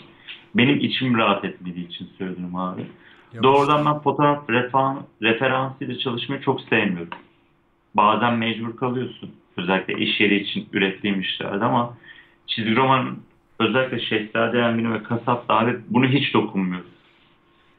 Ya- Evet karşıma alıp bir fotoğrafı ona bakarak referansı çiziyorum ama bilgisayarda tekrar üstünden geçtiğim öyle bir şey sekans kullanmamaya çalışıyorum abi. Va bak bunu çok takdir ettim yani vallahi hani genelde hissettiğim bir şeydi bu senin çizimlerinde ve helal olsun. Çünkü bunda empati kurabiliyorum. Mesela bize şey sorusu, sorusu çok geliyor ikili oyun podcast'inde. İşte daha sonrasında abi işte şu şöyle demişti siz de öyle dediniz. Bu niye öyle falan hani böyle benzerlikler yakalamaya çalışıyorlar. Ben ısrarla şunu söylüyorum. Hiçbir podcast'i yabancı Türk ben yayını yapana kadar dinlemiyorum. Çünkü insan aklı bu insan zihni bir şekilde etkilenebiliyor. Aklında e, kurduğun şeyler ya yaptığın analizler bundan etkilenebiliyor. O yüzden kesinlikle bakmak istemiyorum. Yani seni iyi anlıyorum bu şeyde. Hani hem vicdanen bir sıkıntı oluyor hem de diyorsun ki ya ben acaba yetersiz miyim bilmiyorum. Ben de öyle oluyor. Onu hissetmemek için ben kesinlikle dinlemiyorum yani. Aynen abi yani şey hani istemem bir de hani sen mesela bir şey tüketirken mesela sallıyorum maç izliyorsan hani NBA ağırlıklı, basketbol ağırlıklı yayınlar yaptığınız için söylüyorum. Evet. Ki bu arada çok iyiler. Eyvallah. Basketbolu çok takip etmeme rağmen abi sizin programları takip ediyorum. Sağ olasın. Yani şey muhabbetiniz güzel oluyor. Neyse. Ee, sen mesela bir oyuncuyla alakalı, bir maçla alakalı bir fikrin oluşuyor izlerken. Mesela birebir o fikirle konuşmak var. Dönüyorsun abi birilerini dinledikten sonra o dinlenen zaman senin fikrini değiştirebilir. Tabii. O sana ait olan şey özü bozabilirler. Ben mesela yani çizimde de öyle işte hani çok böyle şeye dalmak istemiyorum bu fotoğraf referansı. Dediğim gibi hani elbet kendim de poz verip kendi fotoğrafımı kullandığım oluyor. Ya da şeyden Shutterstock'tan ya da Google'dan buldum görsellerde de çünkü bazen böyle çok absürt bir anatomik bir duruş çizmem gerekiyor. Sağlıyorum atlan düşen adam. Şimdi ben bunu fiziksel olarak yapamayacağım için hayalden de çok böyle kestiremediğim için hani kestiremediğin noktada abi çizer olarak şu oluyor hani kol nasıl durur? Nereden kırılır? Ben nasıl bir pozisyon alabilir? Kafa nereye düşer? Yani o doğal duruşu yakalamak zor oluyor. Tabii bir noktada hayalden de çizmeye başlıyorsun ama özellikle işin en başında abi bu tarzda fotoğraf referans kullanmak bir sakınca görmüyorum ama dediğim gibi üzerinden geçip üretmek onunla alakalı açıkçası bir şeyim var. Ya dediğin konu tabii daha teknik o normal bence de. Yani evet. bakışı sonuçta bu yani adım yani kişinin fizyolojisini görmek bir de çizeceğin karakter de farklıysa işte daha kaslı olacak belki daha zayıf biri olacak at nasıl duruyor falan. Bunlar daha farklı bir konu. Ben orada şeye bakmıştım. Hani çizim ben beceremiyorum ama hani açıkçası çok da üzerinde durmadım. Yeteneğimin olmadığını düşündüğüm için. Ki sonradan bununla ilgili fikrimi aslında sen değiştirdin biraz. Hani abi oturup çalıştıktan sonra buna karar vermelisin demiştin bir muhabbet. Bu şeyi gördüm. Ee, ünlü bir e, kitap var. Lumi miydi? Luni miydi adamın adı? Lumis miydi? Lumis'ti galiba. Bilmiyorum. Ya ünlü evet. eski bir çizerin baya böyle insan anatomisini çok detaylı anlattığı bir çizim kitabı. Ona biraz bakınca kafamda canlandı aslında. Ya bu işi gerçekten matematik gibi çalışıp böyle işte o e, altıda bir oran yok işte altın oran bilmem ne hepsini böyle matematik gibi çalışıp istediğin pozisyonda istediğin gibi çizebilirsin gibi geldi bana. Bilmiyorum yanlış mı düşünüyorum. Abi orada şöyle aslında Türk yani en azından Türklere aşina olduğum için, Türkiye'deki çizerlere aşina olduğum için şey bizde şey takıntısı var abi. Birkaç tane takıntı var. Anatomiyi ezbere bilmek. İşte yok vakom alayım inanılmaz çizmeye başlayacağım. bir şu seti alayım, şu boya setini inanılmaz işler yapacağım diye böyle bir iPad hani alayım. Şey, aynen abi yani böyle bir bu şey araçlara takılıp iş üretememe sendromu var abi. Sürekli bir kendine has bir bahane yaratma durumu oluyor. Senin mesela o anatomi kitabındaki kas hareketlerini birebir ezberlemene gerek yok ki abi. Yok. Zaten o anlatıyor. Bence, o da aynı şeyi söylemiş orada. Yani. Referans vermiş aslında direkt sana orada adam. Aynen yani referans vermiş oluyor. Bir de bence abi şu hani çizim yeteneği böyle hani kafanda tabii ki herkesin kafasında bir şey vardır abi. Hani çizim yeteneği bence şudur diyecek bir nokta vardır ama çalışıp herkes yapabilir dememin sebebi şu abi aslında yetenek dediğin şey bence yeteneksizliklerini disipline ettiğin hal. Yeteneksizliklerini bilirsen abi ben mesela şey çok yuvarlak hatlı şeyler çizemiyorum. Hmm. Çok böyle şey köşeli, heykel gibi böyle çok çirkin şey formlar, kişiler, portreler çiziyorum abi. E ben de onun üzerine gitmeye başladım. Onu disipline etmeye başladım. Orada çizgi devamını nasıl sağlayabilirim odaklanıp abi. Onu aslında kendi stilim ya da kendi çizgim haline dönüşmeye başladım. Aslında seni diğerlerinden ayıran şey olmaya başlıyor. O yetersizlikleri. Yani sadece disipline etmek bir hale yola sokmak gerek. O kadar başka bir şey yok. Bu konuda duyduğum herhalde en iyi cevaptı ya sağ olasın. Eyvallah. ya chatte de çizim yapanlar varsa bakın motive edebilirsiniz böyle kendinizi. yani şu yüzden de diyorum şimdi senin sonuçta bir tarzın olmuş bu o köşeli çizmen gibi şey. Baktığımda ben ha Selçuk Ören çizmiş diyorum. Mesela işte dünyada da böyle yazarlar, çizerler var. Mesela Jeff Lemire'i biliyorsundur. Evet. Ya, yani onun çizgilerini genelde yeni nesil pek sevmiyor. Hatta eskilerden de sevmeyen var. Ben aksine çok seviyorum ve bence senin de şimdi sen söyleyince bu arada aklıma geldi bu. Şu an tamamen doğaçlama düşününce de aklıma geldi. A- O, o Remir de muhtemelen belli şeyleri iyi yapabildiğini çözüp onun üstüne gitmiş ve çizgileri derdini anlatacak kadar iyi. Bilmiyorum doğru tanımlayabildim mi ama yani Evet. kesinlikle böyle inanılmaz can canlı şeyler yok. Yani detaylar var ama anlatım çok sade ve derdini anlatacak sadelikte e, Ben en- aslında en- en ne diyorum? Yeşil, Yeşilçam sendromu durumu var abi. Şu mesela Yeşilçam filmlerini düşün abi. Hani belli şartlarda çok böyle hani bazen üstün körü çekilmiş filmler var ortada ama hani beğendiğin Yeşilçam filmlerini düşün abi. Mesela Şekerpare filmini düşün. Hı hı. Teknik olarak baktığın zaman hani sesini kıs, hiçbir konuşmayı duyma, altyazı olmasın dersin ki lan YouTube videosundan beter bu. Nasıl bir şey yani hiç mi özenilmemiş diye dersin belki. Ama sesini açıp o oyunculukları görüp esprileri duyduktan sonra abi bir anda şöyle algılamaya başlıyorsun abi. Bu hikayenin dünyası da böyle. Doğru. Estetik yani görsel dünyası böyle. Ya da mesela Leyla ile Mecnun bilmiyorum izledin mi hiç? İzledim, izledim. Full izledim. Leyla ile Mecnun abi yani o yapamayışları tarz ol, oldu bir noktadan sonra ve şey hani sen diyorsun ki Leyla ile Mecnun geçti evrenin görsel hali bu. Yani sen eğer hikayeni doğru ya da iyi anlatabilirsen abi orada sen adamın eline tahta kılıç tutturup altında şey işte çalı süpürge verip abi onu kocaman bir ordu gibi gösterebilirsin. Doğru. ifade edebilirsin yani. İşte de- ve bu etkili de olur. Mesela geçen bir tane şey buldum. Dur bakayım buradan göstereyim. Mesela Beanword bunu hiç duydunuz mu? Gördün mü? Biliyor musun? Şöyle Ne abi? Bu Beanword diye eski bir seri. Bunu ben bence bir açayım da göreyim. Ha, şöyle. Kameraya göster. görebiliyor musun? Evet şu anda gördüm. Beanword diye eski bir seri bu. Bunun işte şeyde e, her ay şey alıyorum ben. Preview diye bir tane şey var. Kitapçık var böyle öküz gibi. 6 ay içinde çıkacak işte 6 ay sonra çıkacak çizgi romanları ciltleri falan gösteriyor. Orada buldum. Sonra biraz işte dünyasına baktım. İşte konuştuğumuz şey abi o kadar basit ki her şey. Bak şöyle göstereyim. Hiçbir şey yok yani. Çöp adamlara benzeyen. Beanword yani bayağı gözüküyordur. Yani tamamı böyle. Yani ve anlatım o kadar kuvvetli ki. Derdini de çok iyi anlatıyor. Basit yani hani şu tabii ki şeyde değil. Mesela sanatta da vardır bu modern sanatta. Bunu ben de yaparım diye demiyorum bunu yani o anlamda değil ama çalışınca işte basit şeylerle bile kendi tarzınızı yaratıp ki dediğin çok doğru. Ortaya kesinlikle bir eser çıkartabiliyorsunuz. Bu arada Aynen. Bu konuyla ilgili etmek önemli abi. aynen.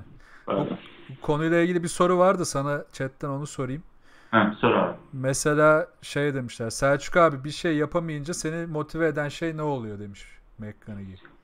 Şöyle önceden çizdim. Ben şöyle motive ediyorum abi çizgi roman üretirken kendimi. Önceden çizdiğim bütün sayfalar abi gözümün önünde bir yerde duruyor. Ve şey olmaya başlıyor.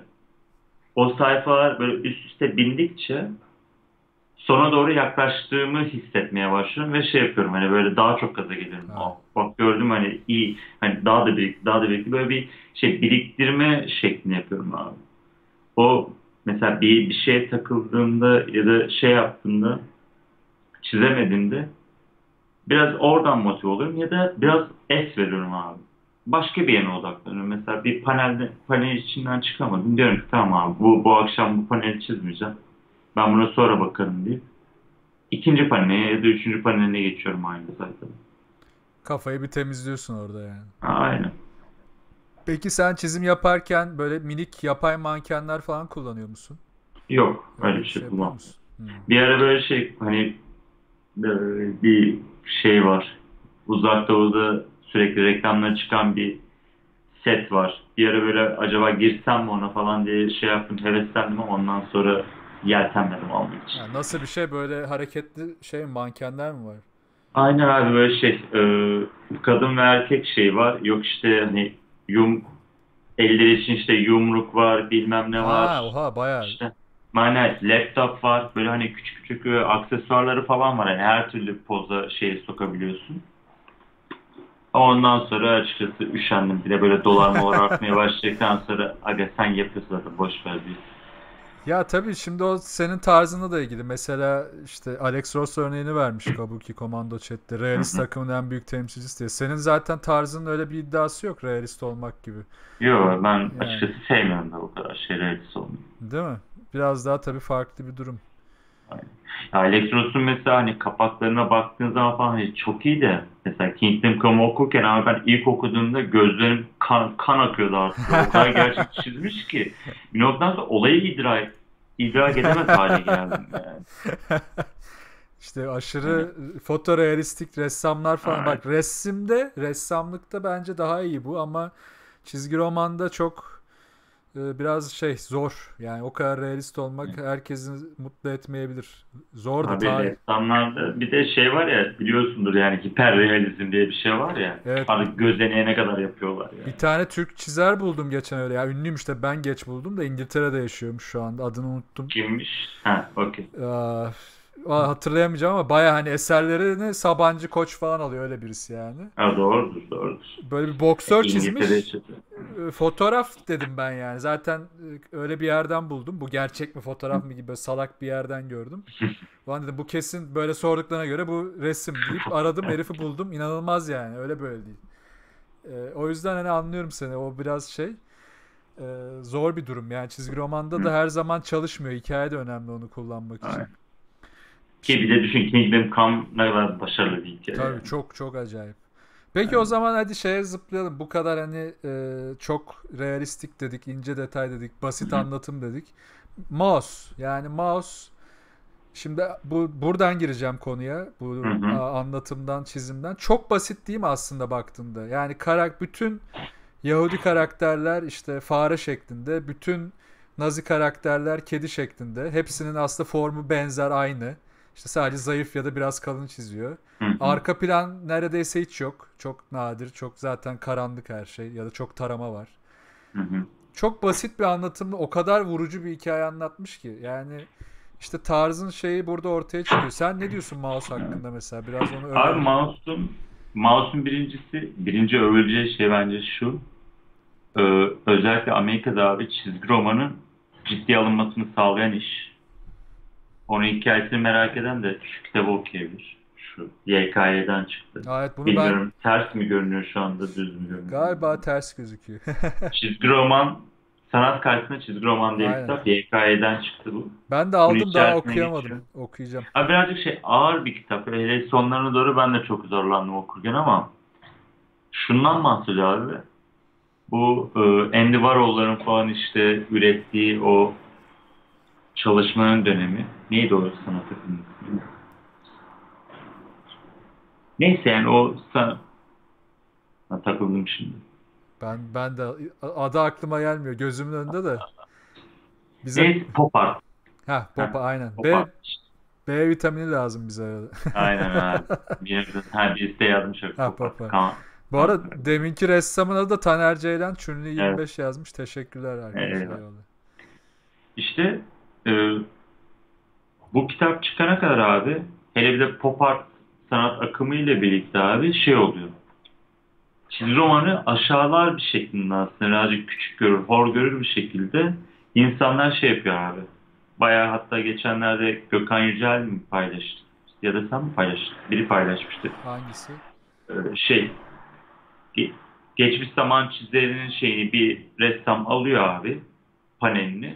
Birebir boy boyutta büyütüp şey yapıyor. Tuvalini satıyor abi. Çizgi roman çizeri o sayfayı üretirken atıyorum işte 50 dolara üretirken o sayfayı abi adam şey o hiçbir şey yapmıyor. Sadece büyüttüğü tuvalden 1 milyon 2 milyon dolar kazanıyor. Oha bunu bilmiyordum. Aynen böyle şey absürt bir durum var yani. Neyse bu mouse çıkıyor abi.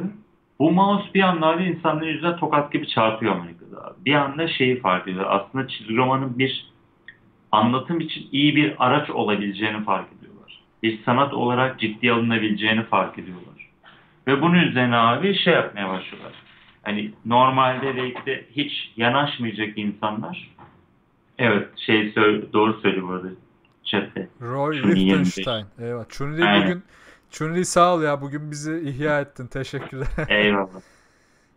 İşte O ne lan? Biri yine döşüyor şey. Ha, Ne? bak bak bak mouse başlayınca Ha. gelecek dedik ya direkt Aynen, geldi biri. İnanılmaz. Neyse. Ee, bu arada şey yani yazdıklarına cevaben de Battlefield'de şey adam vuran adam bize artistik yapıyor ya çok bazen gülüyorum. Evet. Aslında bu tip büyük ihtimalle PUBG'nin bedavasını indirip orada adam vuruyordur da. Kesin kesin. Neyse. Yani bu mouse abi bir anda şey bu formu daha ciddiye alınır hale getiriyor Amerika'da özellikle. Ve bu basit formu da birazcık şey durumda var yani aslında. O dönemde üretilen çizgi roman şeyleri hani çizgi olarak zaten çok geniş işler değil. Hani kendi döneminin çizgisine sahip bir iş. Ama burada senin söylediğin işte o hani Yahudileri fare ya da sıçan şeklinde göstermek. Amerikalıları köpek, işte Polonyalıları domuz, Almanları nazileri kedi şeklinde göstermesi abi biraz yayın öncesinde konuşmuştuk ya. Evet. Yani bu kafatasçı adamın gözünden, adamların gözünden böyle dünyaya bakmakmış gibi ben şey yapıyorum böyle ve hani çok beni rahatsız ediyor. Okuyucuyu rahatsız eden doğru bir kararmış gibi geliyor. Çünkü böyle İkinci Dünya Savaşı'nı ve öncesini birazcık biliyorsanız bunu chat için söylüyorum tabii ki. Tabii yani. Ee, o dönemde bir fa- faşizmin yükselişi var. İşte Birinci Dünya Savaşı'ndan sonra böyle bir bazı hani bir fakirlik şey yapıyor. Hani savaşı kazanan ülkelerde bile. Çünkü şey beklenenden daha uzun sürmüş bir savaş ve kazanan insanların bile tükenmesine sebep olmuş bir savaş. Birinci Dünya Savaşı. E, Almanya'ya dönüp bakıyorsun işte bu hani Naziler nasıl yükselmiş, Adolf Hitler nasıl seçmiş diye şimdi böyle bık bık bık konuşuyoruz ama büyük ihtimalle 50 sene sonra da bizim için aynı şeyleri konuşacaklar. Böyle giderse evet öyle olacak. Aynen. İşte o dönem baktığın zaman abi hani o ekonomik olarak adamların o sürünmesi, sürünmesi, süründüğünü bilmek gerekiyor.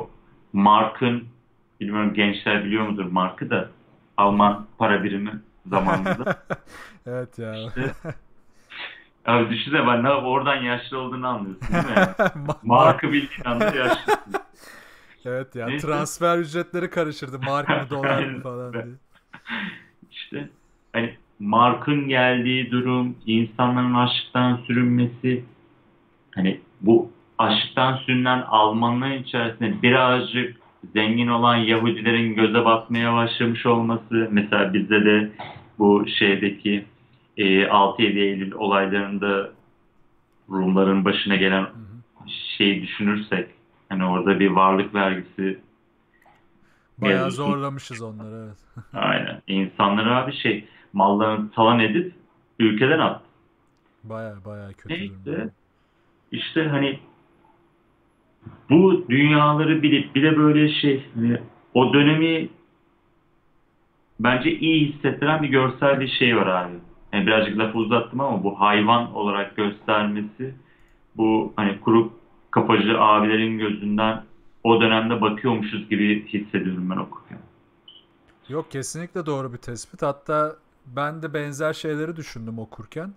Ve daha büyük bir etkisi oldu bende. Hatta sonuna doğru işte babası kurtulduktan sonra onun da bazı olaylara ırkçı olarak bakması beni daha da etkiledi. Ve bütün o işte o görsel şey kafamda daha çok oturdu. Yani aslında sen bir gün e, bugün fare olabilirsin ama yarın kedi de olabilirsin. Yani Aynen. o yüzden dikkat et. Sen yerini bil yani yerini bil derken hani içinde bulunduğun durumu unutma. Aslında biraz da onu anlatıyor. Geçmişini unutmak işte abi yani. Aynen.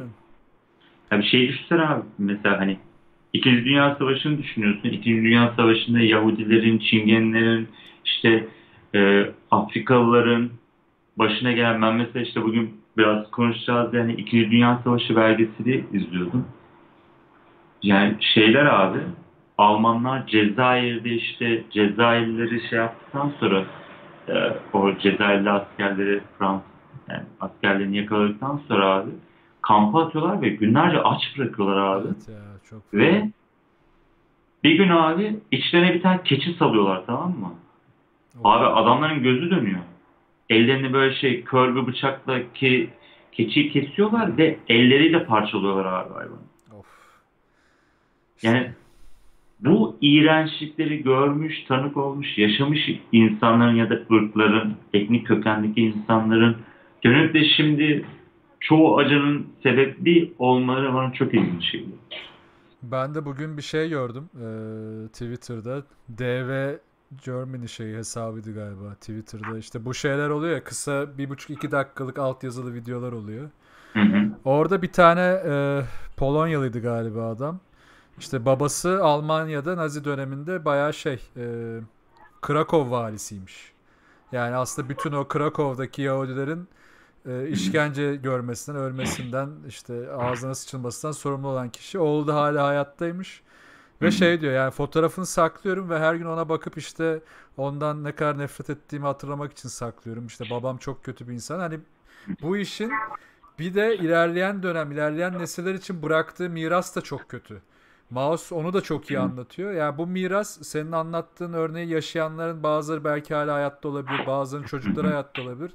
Ve yani annesinin babasının o keçiyi parçaladığını bilmesi, onunla büyümesi ve şimdiki dünyaya bu düşünceleri taşıyarak bakması da aslında hem tehlikeli hem de nasıl diyeyim şimdiki topluma da kendine de çok zarar verebilecek ya da başkalarını uyandırabilecek pozitif anlamda bir şey de olabilir. Tabii bunu kontrol etmekle ilgili yani. Abi şey düşün işte yani bu savaştan çıkmış nesillerin çocukları. Yani orada mesela hani kendi annenden babandan düşün. Ben mesela kendi anneme babama baktığım zaman hani 80'lerdeki yokluğu bildikleri için abi ekstra bir tutucular tamam mı? Her anlamda tutucular ve şey yapıyorsun hani mesela şu anda ben hani yaşadığım dünyadan baktığım bazen bana saçma geliyor.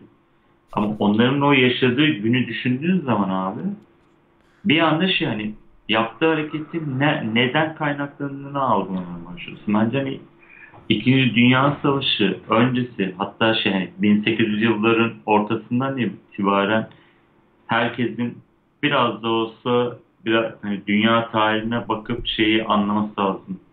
Şu anda yaşadığımız dünyanın nasıl bu hale geldiğini algılaması lazım. Eğer şey birazcık kendini seviyorsa.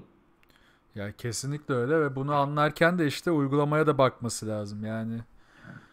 Ee, ya biraz zor durumlar tabii işte şeyden doğru mesela benim yakın bir arkadaşım başına geldi şimdi işte babası asker e, pardon kayınpederi asker işte o dönemleri yaşamış bir yandan bir yandan işte Kenan Evren övülmüş ortamda hani isim veriyorum ben değil. Sonra büyük bir tartışma çıkmış ama tartışmanın sonunda hani arkadaşım daha sol görüşlü. Tartışmanın sonunda aslında neden Kenan Evren dediğini anlayıp bitirmişler. Hani bir sorun olmamış ama işte bunu anlamak için de e, şimdi yeni neslin de biraz geçmişi bilmesi lazım. İşte ye- geçmiş neslin de şimdiyi anlamaya çalışması lazım. Bunu biraz e, ben eksik görüyorum. Yani geçmiş nesil bugünü çok anlamaya çalışmıyor gibi geliyor bana. İşte şey var abi. İnsanlar sanırım bir noktaya geldikten sonra abi o oluşturdukları dünyanın çok da böyle dışına çıkıp yeni böyle yeni bir şeyler katmaya çok hevesli değillermiş gibi geliyor bana. Biraz Hani o şey yani. konfor alanlarını bozmak istemiyorlar yani. O da var yani rahatlık, bıkmışlık hepsi olabilir doğru diyorsun. İşte belki o yaratıcılığa yetiyor yani kendisi.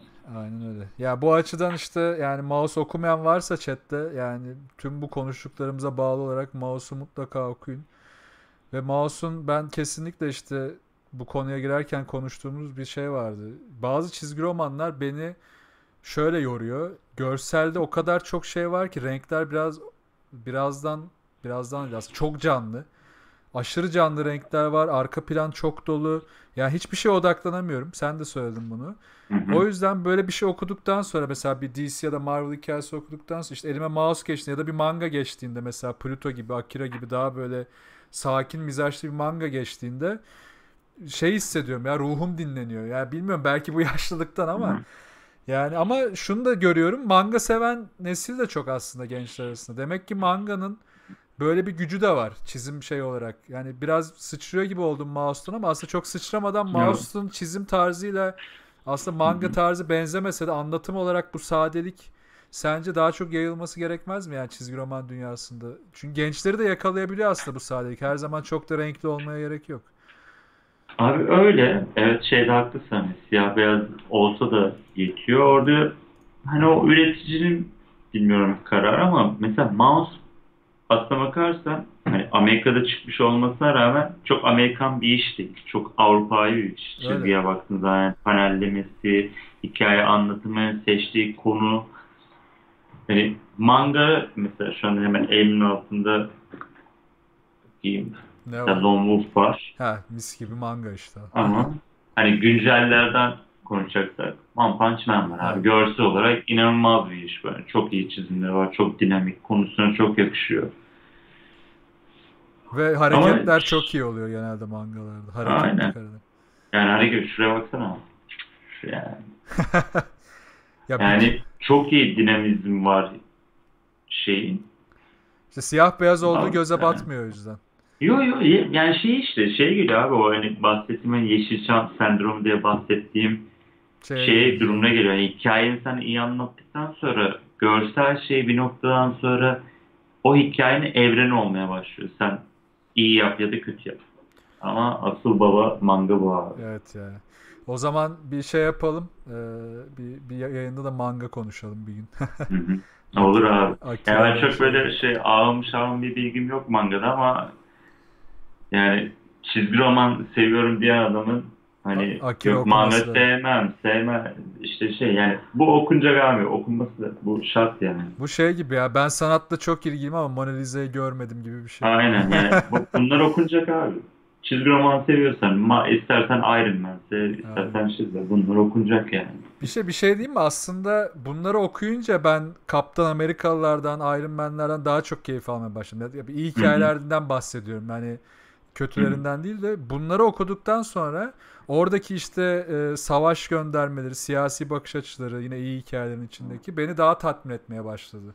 Çünkü bir bilgi yüklendi bana ve şeyi görüyorum bu iyi hikayeler yapılırken işte şuna da takılmıyor hep. Abi şimdi Amerikalı çizer ayda 2-3 tane 4 tane hatta fasikül çıkarıyor. Adam da o kadar şey yapamıyor. Yani bunu yine kıran manga. Ya mangacılar o kadar seri üretiliyor ki zaten Japonya'da ya da işte animeler de öyle. Demek ki belli bir seviyeden sonra disiplinle bunu yapabiliyorsun. Bu da bir bahane değil. O, o zaman şuna geliyorum ben de. Demek ki çizerler ya tembel ya konuyu kavramıyor ya da e, buna ilgi duymuyorduğu için işte yani sadece para kazanmak için çiziyor. Yani buna bir şey diyemem. Hani eleştirmek için söylemiyorum ama çıkan sonuçların kötü olmasının nedenleri biraz bunlar oluyor gibi geliyor bana.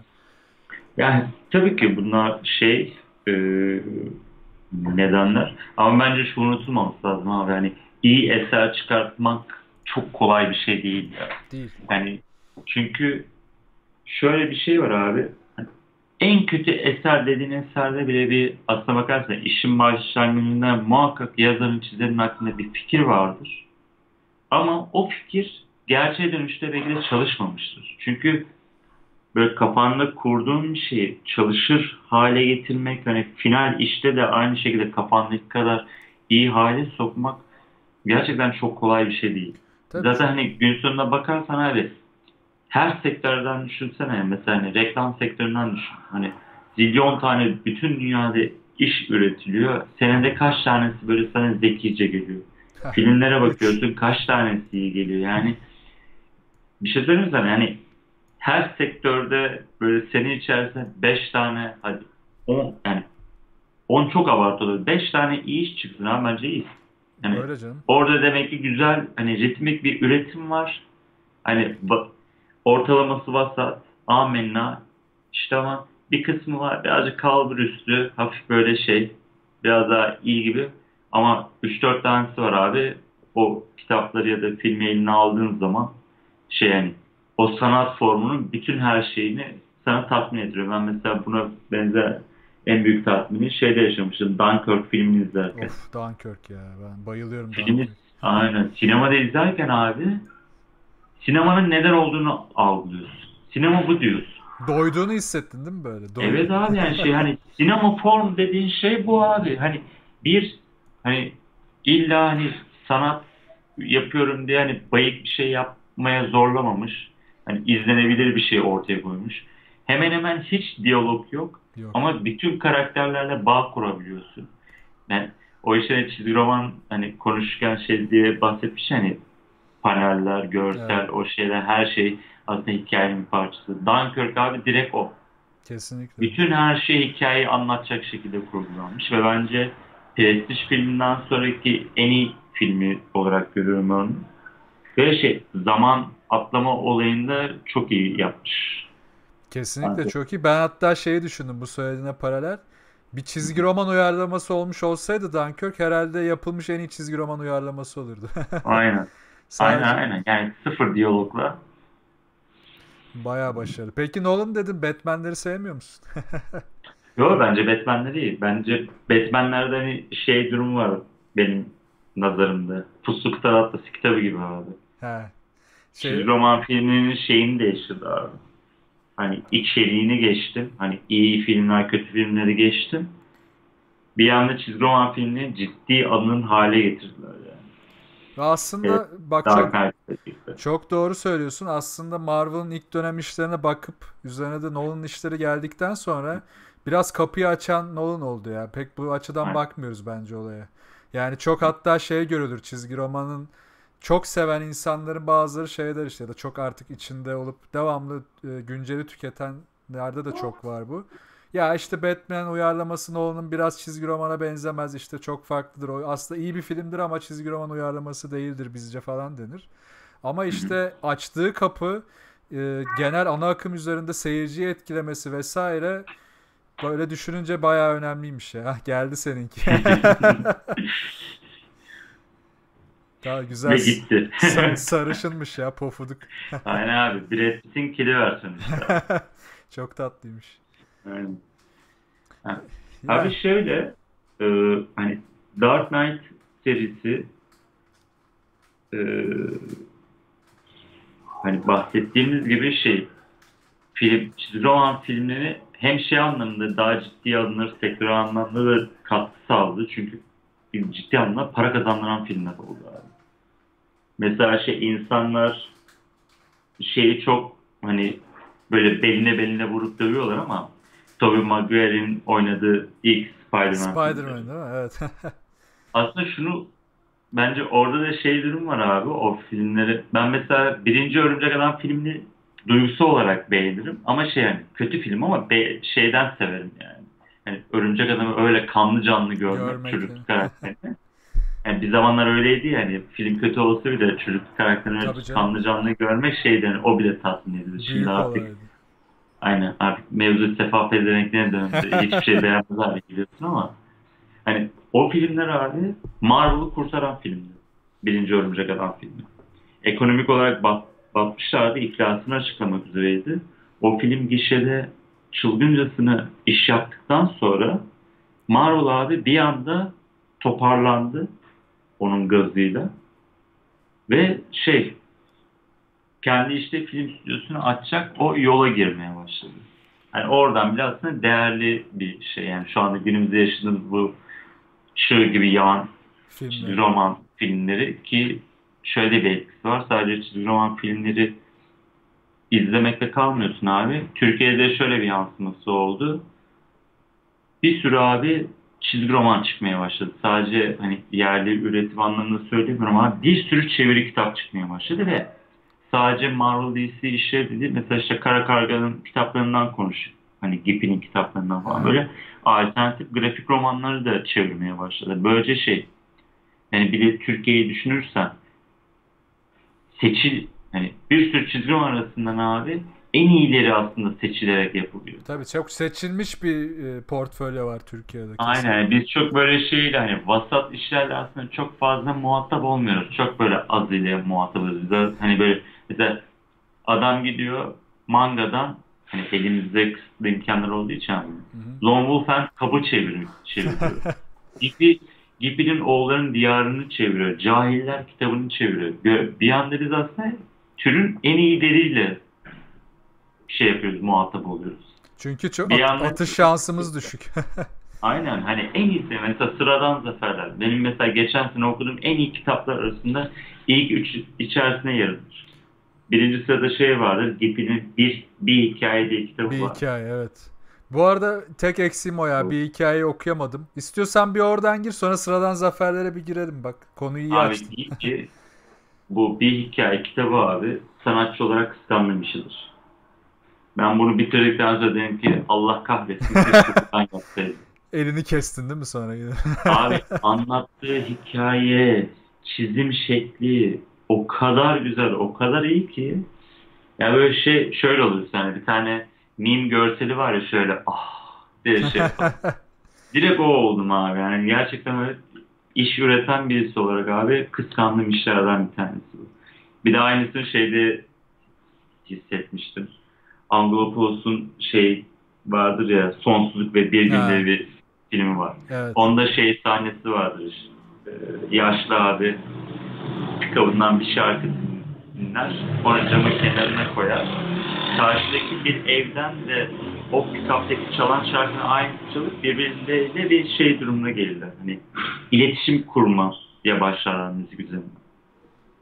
Ve adam şey yapar. e, orada o kişiyle tanışmak ister ama ondan sonra vazgeçer. Ya kafamdaki gibi değilse gibi böyle çok insani, çok böyle herkesin yaşayabileceği bir şeyi böyle birkaç sahnede peş peşe an, anlattığı bir bölüm vardı filmde.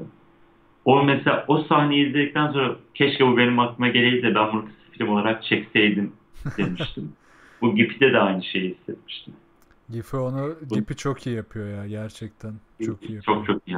Gipi, Gipi'nin işleri beni mesela sor şey bir arada sorulmuştu ya chatte seni ne gaza getiriyor falan diye.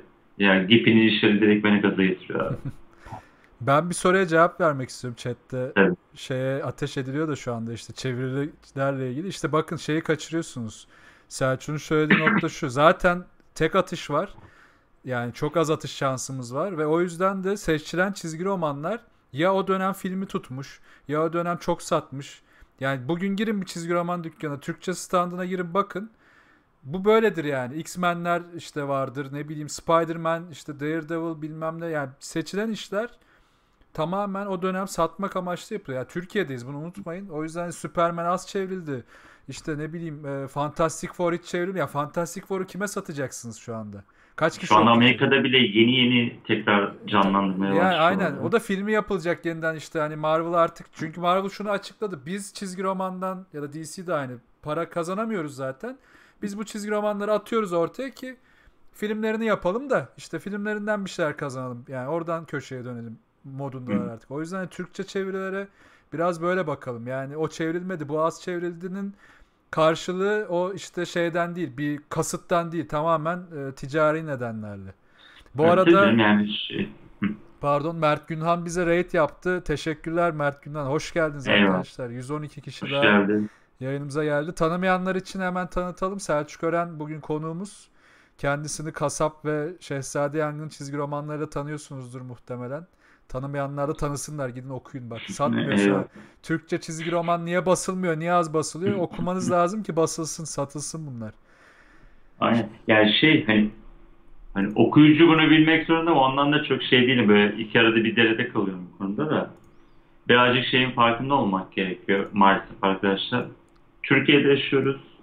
Türkiye'de çizgi roman belli sayıda satılıyor ve şey hani çok küçük hareket alanınız var. Çok doğru şeylere yatırım yapmanız gerekiyor. Çok böyle lükse hani eğer siz zengin değilsiniz ve bu para şey bu işi para için değil de hobi olarak kitap basıyorsanız evet o zaman adam atıyorum her boya takıktır. Her boyu basar. Satmasa bile basar. Sağlarım Fantastic Four. Onun çocukluk karakteridir. Hayranıdır. Satsın satmasın hiç umurunda bile değildir. Basar. Ama Türkiye'de genel olarak şey yani ekonomik olarak böyle bir imkan yok maalesef. Zaten Türkiye'de bu tip bu kadar çok parası olup da bu kadar rahat piyasada olan da benim bildiğim kimse yok. Evet hani yapan yayın evlerinin ya da bazı belirli miktarda paraları var. Kendilerini döndürebiliyorlar bu ekonomik ortama rağmen ama e, yine de bu işe öyle çok büyük paralar yatırabilecek gücü olan kimse de girmiyor bu işe. O yüzden de Türkiye'den bunları beklemek zor. Yani Türkiye yani Türkiye'nin Amerika olmadığının farkına varıp yani Amerika olamayacağının farkına varıp biz kendi koşullarımıza göre üretim yapmamız gerekiyor. Buna göre hani kendi çizgini oluşturacaksın, kendi hikayeleri anlatacaksın. Kendi hikayen derken bu illa şey olmak zorunda değil. E, kastı Yeniçeri hikayesi olmak zorunda değil. Evet ya. Ya da şey Behzat şey kafasında bir polisiye hikaye olmak zorunda değil. Bir şey söyleyeceğim. Yani. Şimdi demin sen sıradan zaferlerden bahsettin. Mesela o hikaye aslında çok basit bir hayat döngüsü hikayesi değil mi? Evet. Yani ailenin basit bir ailenin bir hayat döngüsü hikayesi. Ya bunu yazmak bak hani e, eseri kötülemek için söylemiyorum. Hı hı. Bu işe gönül vermiş yazar olacak, çizer olacak birinin iyi bir birikimle kendi hayatını da belki ortaya koyarak bunu planlayarak ya içinden gelen yani kendi içinde yaşadığı dünyadan gelen bir hikaye yazıp bunu yaratabilir. Aynısı olmaz tabii ama benzerlerini ben Türkiye'de yaratabilecek kişilerin olduğuna inanıyorum. Hem hem çizim olarak hem yani sonuçta hı. çok basit ve eğlencelidir bu arada. Renk kullanımı da öyle. Çok çok sizi işin içine çeker, eğlencelidir. O yüzden göstereyim. aynen yani okumayan varsa bu arada mutlaka okusun sıradan zaferleri de. Hiç sıkılmadan okuyabileceğiniz ve mutlaka hayatınızda çok klişedir ama hayatınızdan bir parça bulacağınız net bir hikaye. Bir hayat döngüsü ve hani şu an üniversite sınavına girmiş çıkmış arkadaşlar da var chatte. Hani bunu okuyup biraz şey gazına gelebilirsiniz. Lan üniversite sınavı çok dönem değilmiş gazına gelip rahatlayabilirsiniz söyleyeyim. Aynen. Bu arada kabul komando hani evet Fantastic Four'la ilgili bir şeyler söylesem ama biz hani Fantastic Four'da aslında şey hani örnek olarak söyledik. Faraz Evet. yani o Ahmet Mehmet de olabilir. Yani şey hani Fantastic Four ben sana söyleyeyim Fantastic Four'u şey eğer birisi çeviriyorsa dediğin gibi arka bahçe bu işi yapıyorsa belki onun filmi yapılacağı için yapıyordur. Filmi Türkiye'de çıktıktan sonra belki birilerinin ilgisini çeker de 3-5 satarız diye yapıyorlardır. Maalesef Az buçuk tanıyorsam bu sektör içinde olan birisi olarak. Türkiye için zaten böyle. Globalde de ben bu Evil Corp firmaların hiçbir şekilde talebi %100 dinlediğine inanmıyorum. Yani zaten inanmam. Bu her şeyde böyledir bu arada. Yani o büyük matematik, ekonomik hesaplamalarla yapılan birçok öngörü var. Yani 2030 yılına kadar Marvel'ın kazanacağı para vesaire hesaplıdır. Orada Evet. girecek Bir de- işler. Bu tarz şirketler abi hiç yani Baba filminde şey vardı ya e, birinci filminde. Abi pardon bir Ee, bölüyorum seni. Pardon, tabii. Bir raid daha geldi Cevdet Canver'den. Teşekkür ediyorum. Hoş geldiniz. Selamlar. Hoş gelmişler. 100, 143 kişiyle hemen tanıtayım Selçuk Ören konuğumuz kasap ve Şehzade Yangın'ın yazarı çizeri yakışıklı tüm Türkiye'ye damga vurmuş jön insan Eyvallah abi. Biraz abarttın gibi oldu. biraz yalayayım ben. Azıcık abarttın gibi ama şey ben çaktırmayalım. Aynen çaktırmadan çok güzel bir çizgi roman muhabbetinin ortasına geldiniz hem bağımsızları hem de genel olarak çizgi roman dünyasının sorunlarını dertlerini tasalarını tartışıyoruz sen Aynen. devam et abi Dur ne diyordum ben? Baba filmi demiştin en son. Hı. Baba Baba biri, birinci filmde şey vardı ya. Bu e, Carlone ailesinin işte bir şarkıcı bir şeyleri vardı. Yakınları vardı. E, o işte bir filmde oynamak istiyordu ama yönetmenle işte aralarında geçen mevzudan şey Sonra yönetmeye gittiğimizde bir şey olduğunu öğrendik. İşte bizim şarkıcı abi bu yönetmenin yıllarca yatırım yaptığı bir kadın varmış. Onu ayartmış. Böylece onları zarar etmesine sebep olmuş. Yani buradan şuna bağlayacağım. Bence bu tarz böyle hani evil e, company dediğimiz e, şirketler abi aslında size bazı şeyleri dayatıyor. Ve dayattıktan sonra siz bir noktadan sonra o dayatılan şeyler içerisinden kendinize en yakını sahiplenmeye başlıyorsunuz. İçin içe belki de sevmiyorsunuz, beğenmiyorsunuz ama size dayatıldığı için abi bir anda onu tüketmeye başlıyorsunuz. Bir de bir noktadan sonra manasız bir şekilde, hiçbir şekilde anlam veremiyorum. Bir şeyin fanatiği olmak. Yani bu kadar kendini beyni kapatıp bütün sevabıyla günahıyla bir şeyi kabulüne şey yapmak hani kişiliğini de önüne koymuyor. Ben çok manalı bulmuyorum açıkçası. Çok mantıksız canım. Aynen yani şey çok hani çok saçma. Yani neden? Neyse. Hani sizin eğer önünüze Fantastic Four'u koyuyorlarsa abi o hani planlı bir şeydir. illa seveceksin diye büyük ihtimalle ağzına ağzına sokacak. Yani şey gibi düşün. Yani mesela Ant-Man karakterini düşün abi. Kim biliyordu filmler çıkana kadar? Bir anda şey önüne sunuyor ve bir anda senin kültürünün parçası haline geliyor. Bir şeye dayatıyorlar sana sen de kabul etmek zorunda kalıyorsun. Zaten hani genel tüketicinin şeyi çok düşük. Beğeni seviyesi çok düşük olduğu için sağ olsunlar. Allah razı olsun bunlardan. Yani bir sürü çere çöpe katlanmak zorunda kalıyorsun. Bir de tut hani Fantastic Four'u basmışlar basmamışlar. Umurumda bile değil abi. Benim umurumda olan kitap açısı birisi olarak bu yani. Bana bu daha iyi geliyor. Ya hikaye abi günün sonunda bak adı adı, Aynen. adı da önemli. Sen en başta da dedin ya kasabın kasaptaki o karakterin maskesinin altında kimin olup olmadığı hiç umurumda değil diye. Yani orada Fantastic Four yazmış, işte Batman yazmış, X-Men yazmış. Ne anlatıyor abi bu insan bize ne anlatıyor? Ya da bir derdi mi var? Ne derdin ne? Gel bir otur anlat diyebileceğim bir şey bekliyorsun orada. İşte bundan kopunca aslında şey oluyor işte e, talep kül talep e, üretimi değiştiriyor dedik ya dünkü yayında Türk restoranlarının sorunlarını konuştuk bir noktadan Hı hı. sonra. İşte oradaki talep de aynı. Ya bizim kültürümüz neyi talep ederse etsin hep kendine göre değişsin istiyor. Halbuki Aynen. ona verileni bir özümseyip oradaki hataları ya da hoşuna giden şeyleri alıp hoşuna gitmeyenleri de bıraksa çünkü o başka birinin hoşuna gidecek. O da kendi hoşuna gidene yönelecek. Hepimiz rahatlayacağız. Pamuk gibi olacağız yani Türkiye. Ama olmuyor. Dünyada da böyle aslında. Sırf Türkiye'de değil. Yani bilmiyorum bence şey hani böyle toplum hani ben bütün dünya anlamında söylüyorum abi böyle şey böyle toplumun olduğu yerde abi bir anda şey böyle seviye çok düşmeye başlıyor. Ve o da isterseniz hani belli standartta bir şey tüketmek isteyen insanların biraz açıkçası yokluk çekmesine sebep oluyor. O yüzden böyle aynen böyle şey Marvel DC'miş falan bence hani keyif alın abi. Yani ben mesela şey Marvel DC filmleri izlerken keyif alıyorum. Ama şey diye izlemiyorum yani onları böyle aman Allah'ım bana inanılmaz şeyler. Yani Westworld gibi izlemiyorum yani. Westworld izlerken böyle pür dikkat izliyorum. Tabii o başka bir şey yani. Kafa açma da var. Ya ben mesela bugün canım sıkıldı. Açtım.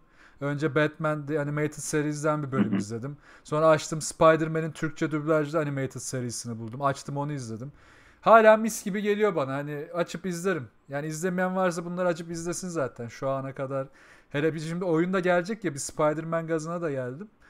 O yüzden hala güzel bunlar ya. Mutlu Abi ediyorum. sanırım herkes şu anda gazında. Herkes şu anda damardan Spider-Man olacak Kesinlikle. yani. Bu arada chatte anime çizgi dizi midir işte bilmem bakın bu tuhaf tartışmalara çekemeyeceksiniz bizi düşmeyeceğiz. O yüzden konuya odaklanıyoruz.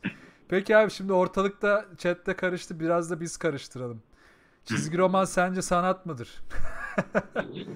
Hadi E, sanat mı canım ya? yani? A- Yani bir anlatım aracıysa hani sanattır herhalde.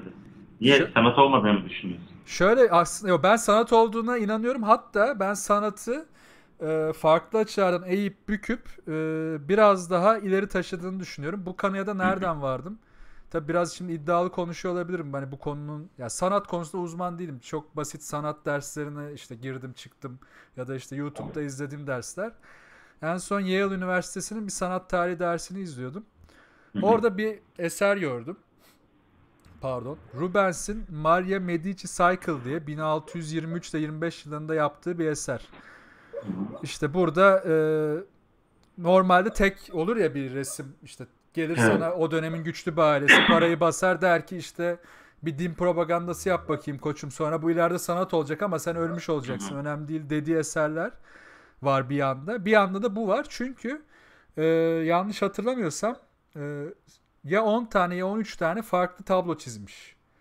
Ya bayağı çizgi roman yapmış adam. Hı hı. Çünkü tek bir sanat eseriyle yani tek bir tabloyla bir şey anlatman için ne lazım? Bir arka planı bilmesi lazım bakan kişinin. O dönemin tarihini bilmesi lazım. Hani şimdi de olsa o dönemde de olsa bir şeyi temsil ettiği için altını tek bir tabloda anlatamıyorsun altında ne olduğunu.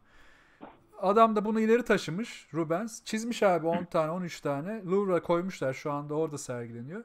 Ve bunu yani ardıl olarak baktığınızda şu an bile bir şey anlayabiliyorsunuz. Ben bunu gördükten sonra sanatın e, çizgi romanın sanatın bir parçası olduğuna %100 ikna oldum. daha önceden kafamda şüpheler vardı. Yani işin içine metin aslında metin dediğimiz şey de e, görsel yani bir ikon aslında oraya koyduğun ve bir şeyler anlatan harfler de bir ikondur ve bir şeyler anlatır yan yana gelip. O da bir görsel günün sonunda ama ben bundan sonra ikna oldum. Bilmiyorum sen hiç böyle ikileme düştüğün bir dönem oldu mu ya da bu işi yaparken? Ya açıkçası hani çok böyle ikileme düştüğüm bir şey yoktu ama bunun sebebi biraz da tabii hani birincisi hani ben güzel sanatlara gitmeye başladıktan sonra çizgi romanla böyle kafa yormaya başladığım için e, durum şöyleydi abi mesela hani bahsettiğim dönemdeki çalışmalara baktığın zaman sadece Avrupa'da değil hani Osmanlı dönemini ya da Çin'e bak, Japonya'ya bak hep bir görsel abi bir hikaye anlatımı var. Hani hem dini hikayeler var bunun içinde hem de mesela sağlıyorum minyatürlere bakıyorsun abi. X bir kutlamanın bir şenliğin abi işte adam şeyini yapmış işte atıyorum işte saraydaki halini çizmiş. Sonra işte oradan işte padişah işte köşküne geçti işte önünden insanlar işte esnaf şöyle bir konvoy halinde geçti. Şunları sundu gibi ya da işte Japonya'ya gidiyorsun bir hikaye anlatıyor falan filan derken abi zaten hani şu anda günümüzdeki roman gibi olmasa da böyle bir hikaye silsilesini anlatma hali var. Mesela şeye dönüp baktığında abi kiliselere gidip baktığında tek resim olsa bile aslında İsa'nın mesela annesiyle olduğu ya da insan İsa'nın havarileriyle birlikte olduğu bir duvar resmi bile görsen aslında o İncil'deki bir olaya ithafen yapılıyor. Aynen. Yani o yüzden hani bizim hani resim deyince anladığımız o portreler, caddeler aslında biraz Rönesans sonrası yapılan şeyler. Neden orada işte burjuva saray kadar zenginleşmeye başladıktan sonra saray gibi güçlü olduğunu gösterebilmek için ressamlar bir anda ailelere çalışmaya başlıyor. Bir de tuval denilen form ortaya çıkıyor. Artık resim taşınabilir, mobil hale geliyor. Aslında Rönesans'ın baştan, yani Rönesans'ı başlatan etkenlerden bir tanesi biraz böyle sanat tarihine girdim ama. Gir abi en sevdiğim şeyler. Yani, yardır. işte bir teknik gelişimler işte yağ boyanın gelişiyor olması, tuval denilen formun ortaya çıkıyor, çıkmış olması. E bir yandan da tabii ki o dönemki felsefenin başka yerlere doğru kaymaya başlamış olması. Neden? Çünkü ekonomide yani Rönesans öncesi düşünürsen hep kral ve ailesi ya da ona yakın yönetici tayfa zengin Tabii. zenginliğe sahipken bir noktadan sonra ticaretle uğraşan burjuva yükselmeye başlıyor. En alt saray kadar zengin olmaya, güçlü olmaya başlıyor. Ve saray kadar güçlü olduğunu gösterebilmek için de o dönemde ne var abi? Ressam var. Ressam saraya çalışıyordu. Hayır abi gel bana çalış. Kiliseye çalışıyor. Hayır abi gel bana çalış. Nasıl? Bugün işte gidip yat almak gibi. gidip işte altın kaplama Lamborghini almak gibi bir şey. Zenginliğini göstermek, gücünü göstermek için yapılan bir şey. E sen şimdi dönüp bakıyorsun tabii ki onların yaptığı zamandaki zanaata sanat demeye başlıyorsun. Hani bu birazcık şeye benziyor. Hani Bizansların kendine Bizans'ı dememesi. Aslında onlar, adamlar kendini Romalı diyor. Sen ama günümüzde 20. yüzyıl ya da 19. yüzyıl tarihinde onlara Bizans ismini veriyorsun. Biraz sanat ve zanaat arasında böyle bir tuhaf bir şey var açıkçası geçmiş dönemde. İlişki var. Şeyler. Aslında evet Aynen. bunların hepsi zanaat günü sonunda yani mesela geç, geçen bir tane e, bir adam vardı şimdi tabi adını hatırlayamayacağım da işte ağaç dallarından heykeller yapıyor. Türk bu arada. Hı hı. Bir dönem daha çıkmıştı ortaya da yine patlamış. Geçen dönüyordu işte at yapmış, kuş yapmış. Ha, evet şeymiş. Şu bir köylü bir abi vardı. Aynen Ondan aynen. Aynen aynen. Ha, o, o, köylü abiden bahsediyorum. Ee, bayağı da güzel işler yapıyor ve fiyatları da yani 30 binler, 50 binler, 100 binler falan diyor yani öyle fiyatları satıyor. E burada aslında şeyi görüyoruz yani şimdi böyle bir e, entelektüelin içinde yaşayan işte elinde prosuyla işte milyoner bir dayı buna sanat e, para verdiği için mi bu sanat oluyor? Yoksa o dayının estetik anlayışı olup da birilerine talep yarattığı için mi yani sanat oluyor? Çünkü şunu söylüyor. Ben yetişemiyorum artık diyor. Şimdi yetişmesi de lazım değil bence zaten. Sen sanat eseri yaratıyorsan. Hı hı. İşte burada iki ikilem hiç bitmiyor aslında. Hem sanatçı tarafında bir ikilem var. Bir tüketimi karşılamaya çalışacak mı? Yoksa üretecek ve kim alıyorsa alacak mı? Yoksa diğer tarafta devam talep edip buna bir sanat değeri yükleyecek, para koyacak işte tüketicinin talebi mi? Ya burası çok ikilem içinde. Yani işte dediğin zanaat mi sanat mı karışımı da burada çok fazla kendini gösteriyor. Vallahi abi burada da işte şey durumuna geliyor. Hani daha demin biraz hani girim, girdiğimiz biraz bahsettiğimiz şey durum var ya bir şeylerin sana dayatılması. Evet. Mesela bir şeyler sana dayatılmaya dayatılıyorsa bence birazcık insanın oturup bir düşünmesi lazım. Hacı dayı bu ne iş diye bir bakması lazım. Mesela sana bir şey eğer sanat diye dayatılıyorsa abi bil ki büyük ağababalar o sanatçının koleksiyonuna sahiptir abi. Kesinlikle doğru. mesela sallıyorum bütün zengin çünkü sanatın şöyle bir şey var 20. yüzyılda şuna dönüştü. Borsa gibi bir durumu var. Nasıl dolar, euro ya da hisse senedi alıyorsunuz? Zengin yani belli bir maddiyatın üzerindeki insanlar da bir noktadan sonra bunların yanı sıra sanata aslında bir maddi yatırımmış gibi bakmaya başlar. Sadece hani estetik kaygıyla tabii ki estetik kaygıyla bu işin peşinde olan insan vardır ama bu kadar büyük parası olan adamlar sadece estetik kaygıyla iş yapmıyorlar. Buna bir yani tam, tam da işte iş gözüyle bakıyorlar. Buna bir yatırım gözüyle bakıyorlar. Yani ben kendi çevremden dolayı ister istemez hani biliyorum şeyi. Hani sanat galerindeki ortamları ya da bir sanatçının resmine neden stoklanmaya başladığını bir anda böyle şey kara borsa durumuna düşüyor yani. Bir şey hani stoklanmaya başladıysa birileri bir yere atmaya Buralar başladıysa değerlenecek. Aynen tabii ki yani o aynen, tam dediği gibi işte bir yere köprü yapılmadan önce bir anda oradaki bütün arsaların dağılıp ondan sonra biz buraya köprü yapmaya karar verdik deyip oradaki arsanın bir anda hoba diye yükselmesi gibi bir durum var. Tabii bir yandan da değeri düşmesini istiyorlar. İşte bahsettiğin, başta bahsettiğin konuda onunla ilgilerdi. Yani o değer düşmesin diye de bir pohpohlama, devamlı dönem dönem ortaya çıkarma ya da işte bazı eserlerinin yine bazı müzayedelerde yine çok büyük paralara satılıp o değerini koruması gibi şeyler yapılıyor. Ben şunu da gördüm. Benim de hani e, bazı sanatçı arkadaşlarım var. Bunlar da gerçekten büyük paralara büyük işler satıyorlar şu anda. Ve şey mantığını kendi bizzat söyledi abi yani benim işime niye para verdiklerini düşünürken şunu fark ettim. Benim ölmemi bekliyorlar dedi ya. Yani Öyle. böyle böyle bir şey var ki sanatçı da bunun farkında. Bu da ilginç bir durum yani. Ya bazı hani illa ölmesine gerek olmuyor da tabii hani ağırlıklı olarak öldüğü zaman iş yapıyor maalesef de. Evet. Şey durumu gibi bakılabilir aslında daha basit örnekle söylemek gerekirse. Atıyorum sen eğer Nihat Doğan'ı haberlerde, televizyonda sık sık görmeye başladıysan bir o adam Survivor'a katılmıştır. Kesinlikle. Yani o bir anda bir bakarsın iki hafta sonraki Survivor'da görmeye başlarsın. Yani böyle bir şey e, tuhaf bir tüketim dayatılması üzerine kurulu bir yapı içerisinde yaşıyoruz. O yüzden biraz şey yapmak lazım. O bu arada göbek at abi. Bir şey oldu. Ne oldu? Bir şey geldi. Oo bağış geldi. Raizus. Bağış mı geldi? Uyarı gelmedi ama. Bağış geldi abi. 100 TL. Aa süper. Teşekkür ederiz. Raizus. Teşekkür ediyorum. Eline sağlık. Yani ben mesela bu sebepten dolayı da şeyi Ha gelmemiş. Ee, Fake yemişiz. Bak yine dedebeyliğimizden o ne ya? Bu- Bunun fake mi olur ya? Ne kadar ayıp. Ayıp. Bak şimdi ben şimdi biraz daha noob'um ya. Çok şey yapmak istemiyorum. Böyle sivri dillik, şeylik yapmak istemiyorum ama zaten ilk yayında biraz o tersimi gösterdim. Şimdi daha noob'um. Bir 15-20 yayın olsun, bir 30 yayın olsun. Asacağım, keseceğim yani de şimdilik sakinim. Bu arada şunu da unutmayın. Ben bütün chatleri, bakın ben de biraz manyağım. Ee, okuyamadığım her şeyi sonradan tekrar edip tekrarına bakıp yayınlarımın bakıyorum bütün yazılanlara. Kim ne yazmış, nickini hatırlıyorum. Bak bunlar olur yani. İleride bekleyin bunları benden. Biraz ters Bayağı yönlü- şeysin yani. Aynen. Fil kindarlığı var sende. Biraz var. Yani e, bugün bir şey demem ama e, kötüye kullanmayın iyi niyetimizi deyip devam edelim abi. Okey.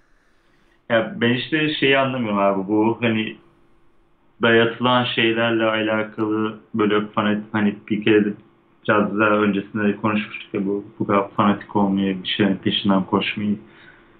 Bence hani bir şey tüketiyorsunuz abi. Hani tükettiğinizin farkına varın. O hayatınız olmasın bence. Ya zaten en büyük konu bu. Geçen Sungur yayınında bahsediyordu işte. Fight Club konusu açıldı da adam Fight Club'ı izleyip Fight Club'dan çıktıktan sonra Fight Club'la ilgili ürünleri satın almak için sıraya giriyor. Evet. Yani E, işte, Che Guevara tişörtleri işte şey, Aynı durumun için geçerli. a- aynı mantık yani. İşte bir şeyleri e, yaparken ya da savunurken aslında tutarlı olmak en önemli şey.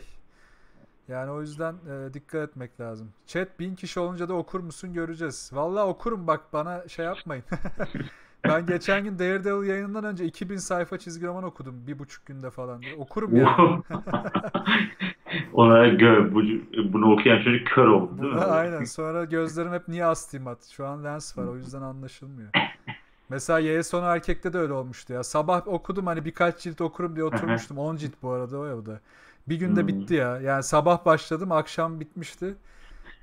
Böyle kendim post apokaliptik bir dünyada hissederek uyudum ya. Son erkek olarak mi? Gerçekten ne oluyor? Bu kadar zaman geçti. Aynen. Bu arada o hikayede benim çok hoşuma gitti. İkinci cildinde kaldım ya. Ya bence kesinlikle oku. Yani Y son erkek okumayan varsa chatte de bu arada muht- muhteşem bir hikayedir. Kesinlikle okuyun. Yani Dizisi de geliyor zaten. aynen ya. dizisi de gelecek. Ve Vertigo değil mi? Yanlış hatırlamıyorum. Ya Vertigo'dan ya sonuçta Vertigo da DC'nin hani ana akıma dahil gibi gözükse de çok bağımsız bir eser.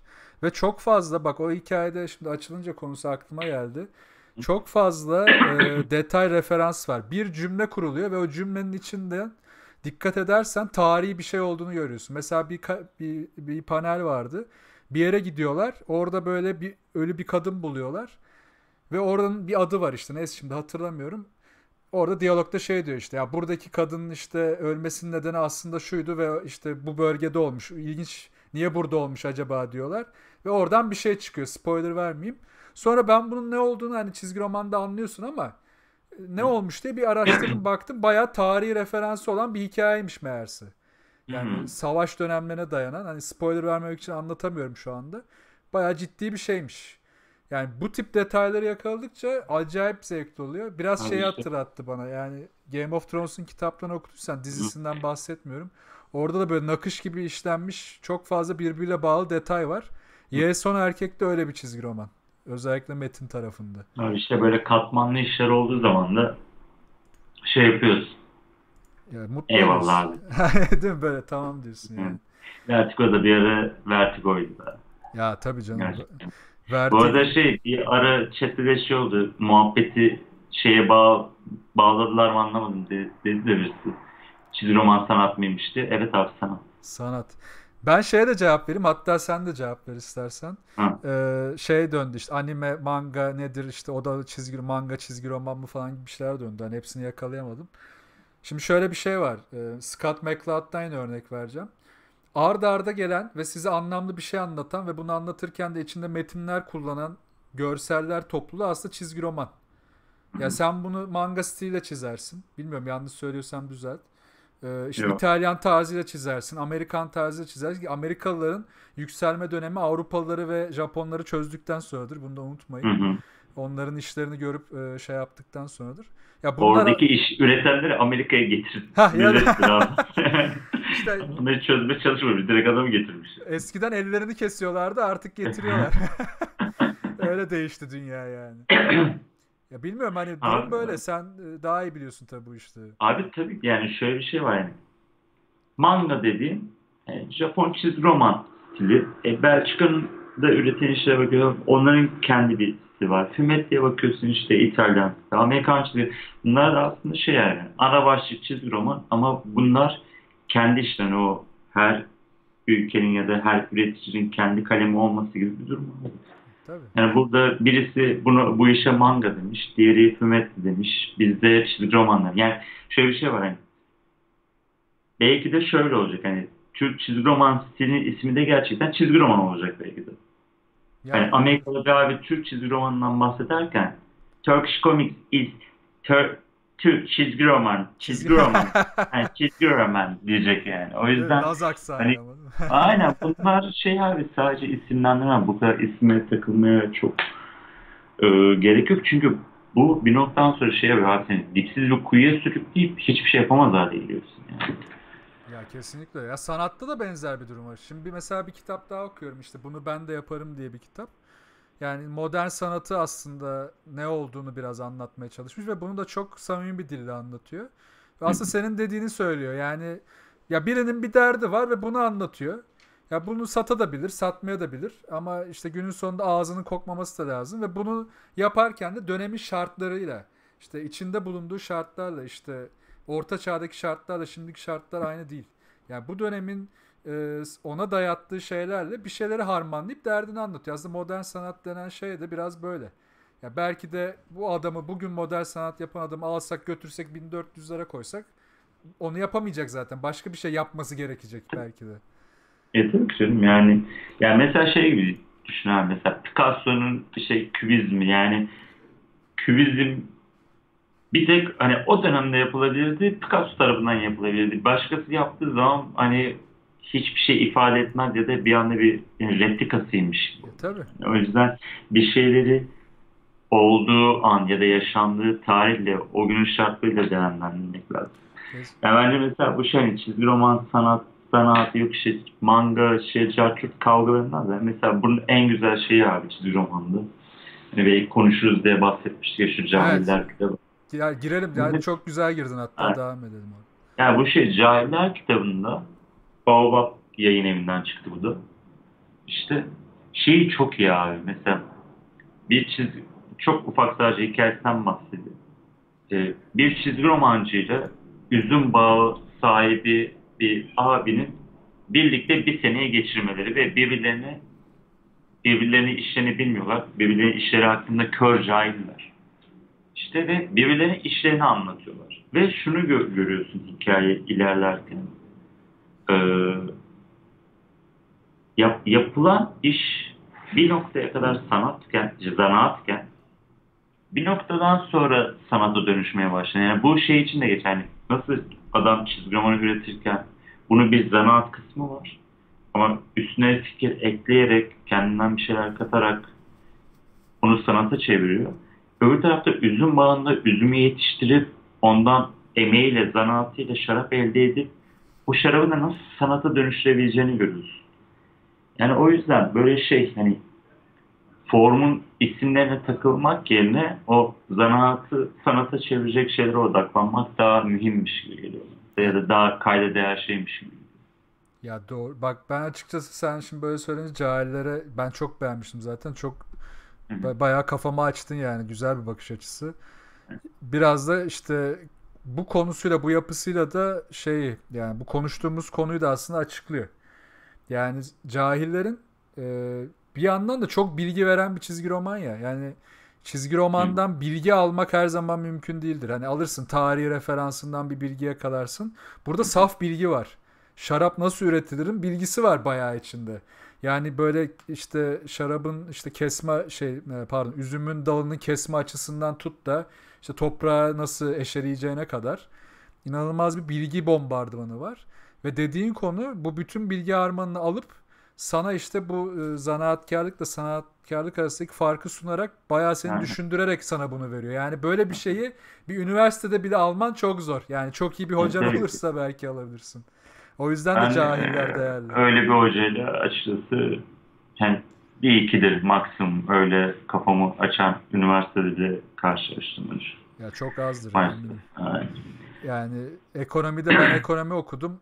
Bir tane hocam çok iyiydi. O da iktisat sosyoloji hocasıydı. Onun dediklerinin hala devamlı çalıştığını, işlediğini gördüğüm için ben de buna ikna oldum. Genelde üniversitelerde artık böyle hocalar kalmadı. Eğer öyle hoca bulursanız, şimdi chatte de bir sürü üniversiteye yeni giren e, arkadaş vardır ya da girecektir yakında. Hayırlı, hayırlı olsun onlar. Aynen. Böyle hocalar bulursanız yapışın. Yani bırakmayın, kurcalayın, soru sorun. Çok azlar çünkü. Peki abi o zaman e, bir şeye daha değinmek istiyorum. Dün ben biraz bahsettim ama hani içeride de girdik. Bu Comicsgate olayına baktın mı hiç? Ne diyorsun? Oralara bir dalsak mı? Abi senin anlattığın kadarıyla açıkçası ben de bilmiyorum çok hani çok farkında olduğum bir şey değil yani fark etsem bile çok da sallayacağım bir şey de olmazdı büyük ihtimalle. Yani böyle biraz Biraz- böyle Aslında şundan girmek istedim. Pardon yine kesiyorum seni ha, ama. yo yo sıkıntı değil Şimdi lütfen. e, hatta şunu sormak istiyordum sana. Şehzade yangınında ilgili hiç tepki çektin mi? Sonuçta orada bir öpüşme karem var. Ee, üçüncü kitabın sonlarına doğruydu galiba. Ee, Hangi kitap pardon abi kaçırdım. Üçüncü kitabın sonları mıydı? Yanlış mı hatırlıyorum? Ya da ikinci kitabın ha, sonları. Benim kitaptan mı Tabii tabii. Evet evet. Ha, Evet evet şey üçüncü kitabın sonu. Heh, evet. Aynen. Ya bununla ilgili hiç e, bir şey tepki çektin mi ya da bununla ilgili Yok sana... hiç hiç hiçbir şey gelmedi. Hadi ben ya. açıkçası bekliyordum. Aa. Hani tepki gelir diye bekliyordum. Ya tepki verecek insanlar okumadı. Okumadılarsa daha iyi ama okumasınlar zaten. Ya da anlamadılar abi. E, peki sen mesela işte bundan sonraki eser zaten kasapta göçmen sorununa değindin de zaten direkt bunu elemiş oluyoruz. Yani sen buna zaten değiniyorsun. Ya senin için bir dert mi bunlar? Yani işte diversity olması, eşcinsellik olması, farklı tende birinin olması gerçekten satışı etkiliyor mu? Yani satışları ben etkilediğine kesinlikle inanmıyorum. Kesinlikle inanmıyorum. Kim ne derse desin. Ama bunun öyle olduğunu ikna etmeye çalışan bir güruh var ve onlar bununla kendini inandırmışlar. Ve yine senin verdiğin örnekte işte kasabın ilk sayısı 1600 sattı sonra durdu dedin. İşte mesela bugün o kafada çıkacak bir çizgi romanın işte 500 bin biz işte şey aldık çizgi romanı kurtarıyoruz bu e, diversity'den artık harbi delikanlı çizgi roman yapacağız diyen insanların ben ikinci sayıda 100 binden fazla satacağını hatta üçüncü sayıda 10 bine kadar düşeceğine eminim. Şimdi bu örnekler varken bunları yapmaktan kaçmak ne kadar mantıklı ya da yani bu yöne gitmek ne kadar mantıklı? Yani ne amaçlanıyor burada? Ben çözemiyorum açıkçası. Ben açıkçası şeymiş gibi geliyor bana e, trend topik olmakmış gibi geliyor. Yani çok böyle şey e, yani bahsedilen şey çok böyle ciddi alabileceğim bile bir şey değil. Çünkü mesela hani Şehzade yani işte bahsettiğim şey iki tane harem ağasının öpüşmesi evet. sahnesinden bahsediyoruz.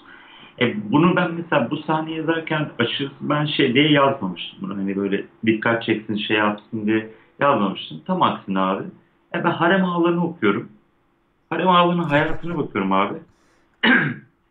ya şimdi bunlar e, kadın sultanın yani padişahın evi denilen haremin içerisinde olan erkekler olduğu için abi bunların erkekleri elinden alınmış insanlar. Ve bu e, ama kökünde hala insan olduğu için de e, sevgiye muhtaçlar. Sevgiye muhtaçlıklarında abi ben okudum harem ağları hikayesini abi yani hikayelerinden şunu gördüm abi. Ya kendilerine abi haremden şeyden sonra emekli olduktan sonra abi ya hamile bir kadınla evleniyorlarmış. Ya işte şey kendilerini partilere şeylere vuruyorlarmış. Ya bir erkekle aşk yaşıyorlarmış. Çünkü hani ikisi de aynı durumda. Ya da şey birisi pasif birisi aktif olduğu bir ilişki oluyor. Ee, ya da hani bir kız evlat ediniyorlarmış. Yani böyle şey hani sevgiyi arata, arayan insanlar. E ben bunu okuduktan sonra e, benim yazdığım Osmanlı Sarayı'nın içerisinde böyle bir karakter olabilir. Çünkü bu gerçek bir karakter. E yani eşcinsel bir süper kahraman da olabilir. E çünkü benim eşcinseller var. Eşcinseller zaten hani aslına bakarsan özellikle milattan öncesinde hani kadınlarla birlikte olmak kadar açıkçası normal bir şey. Bir erkeğin bir erkekle bir kadın bir kadınla birlikte olması. Çünkü hani şöyleymiş gibi algılıyor insanlar. Sanki hani o kadın o kadınla birlikte olurken yani o erkek o erkekle birlikte olurken hem cinsiyle birlikte evet hem cinsiyle birlikte oluyor ama kendi aslında aynı sınıftan insanla birlikte olmuyor çoğu zaman. Aynen. Kölesiyle birlikte oluyor. Yani o aslında zaten ona keyif vermesi için, ona hizmet etmesi için var olduğunu inandığı kişiyle birlikte oluyor. Onu insan bile olarak görmüyor. Tabii. Kullanılan bir alet onun için ya da bir tüketim aracı. Aynen yani bu biraz hani dinlerin oluşması, ahlak ahlak felsefenin ortaya çıkması, yani toplum şeylerin, düşüncelerin ortaya çıkmasıyla falan biraz yaygınlaşmış endişeler şeyler. Mesela yani bu ne bundan niye kavga edilir ki? Bu çok saçma bir şey. Abi gerçekten öyle. Şimdi böyle söyleyince şey geldi aklıma. Yeson erkeğin erkeğin temelinde şey var işte. Yani hikayeyi söyleyeyim spoiler değil. Dünyada sadece herkes ölüyor. Ee, tek bir erkek pardon bütün erkekler ölüyor. Bir tek bir erkek hayatta kalıyor. Sadece onun dışında kadınlar hayatta kalıyor. Hı hı. Şimdi hep şey diyoruz ya ya biz kadınlara işte her ortamda tabii ki şans veriyoruz. İşte tabii ki onlar da bizle eşit ama şu anlaşılıyor Yeson erkeğin dünyasında o kadar çok kritik ortamda, kritik meslekte kadın e, sayısı az ki uçaklar uçmuyor, televizyon kanalları çalışamıyor. İşte bilmem neler yürütülemiyor. İşte bir, bir sürü iş bozuluyor. Bak bütün kadınlar hayatta.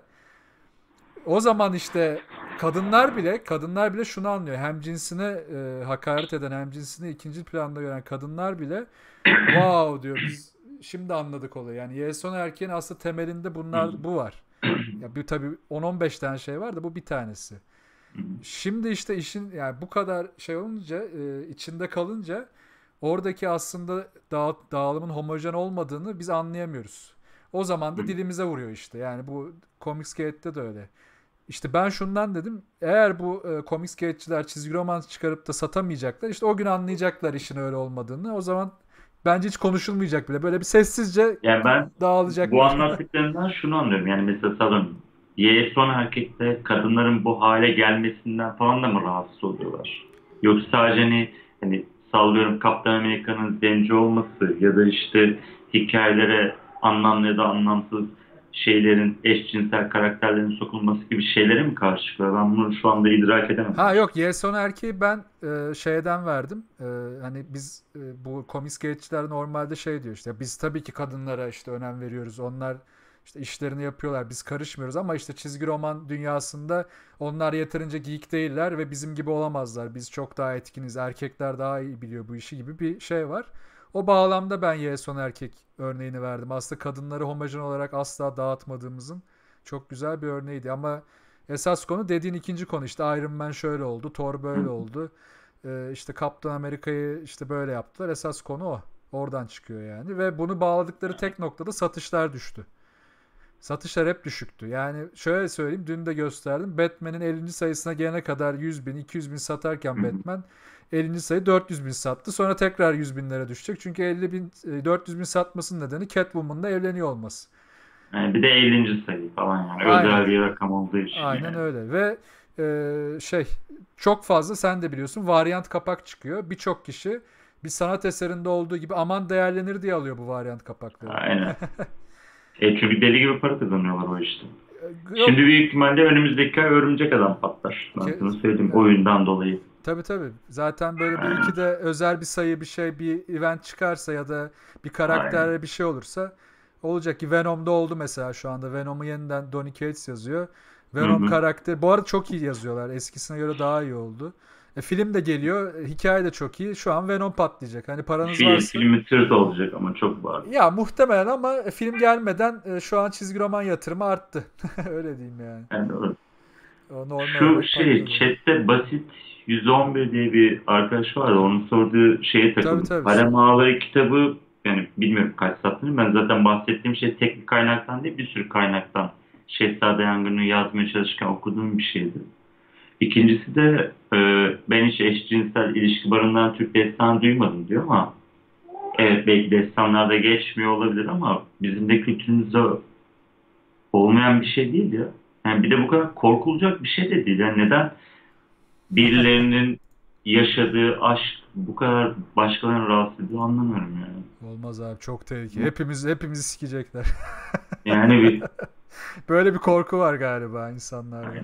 Yok abi. yani sadece ben bir de şöyle algılıyorum biliyor musun? Hani bence bu kafa yapısında şey sıkıntısı var. Mesela kadın kadın olunca sıkıntı yok da erkek erkek olunca bir tedirginlik oluyor. Evet evet.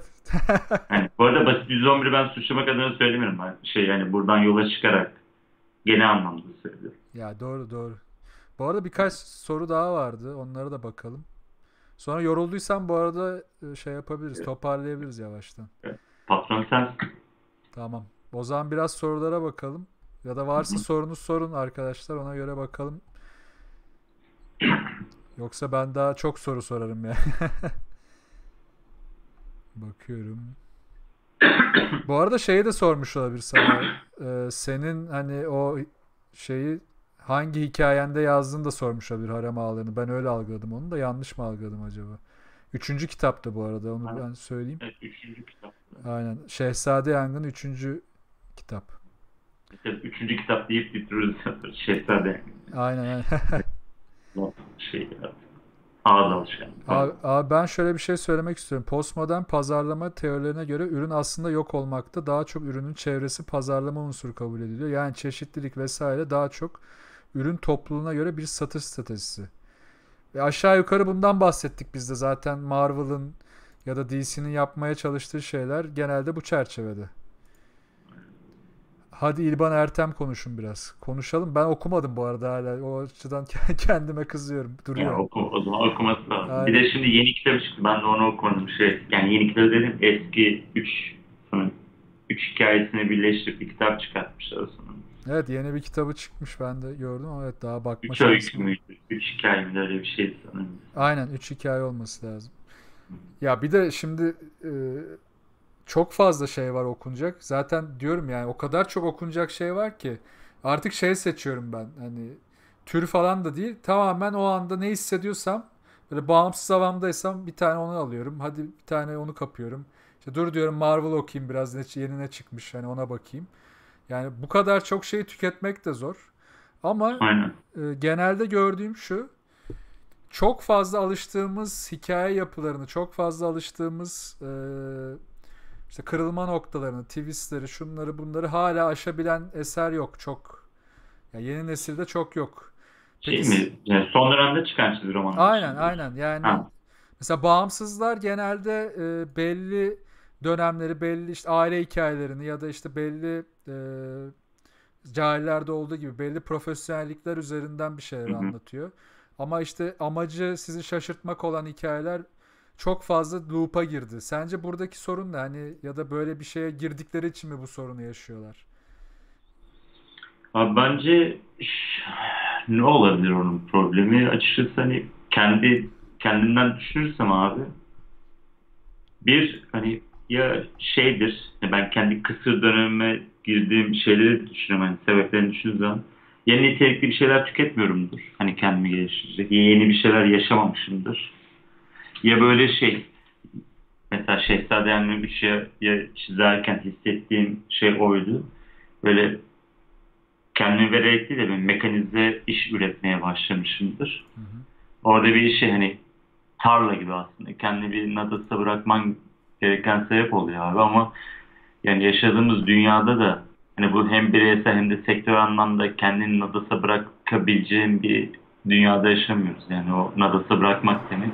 Aç kalabilirsin. Ekonomik olarak şey ölümün demek. Yani o yüzden hani hem üretirken hem de yeni şeyler bulmak, yeni fikirler bulmak biraz zor. Hani mesela şeylere bakarsan abi hani iyi işler çıkartmış adamların işlerine bakarsam hani bir de böyle hani çok uzun süre zaman çalışmış bir sürü kitap çıkartmış adam.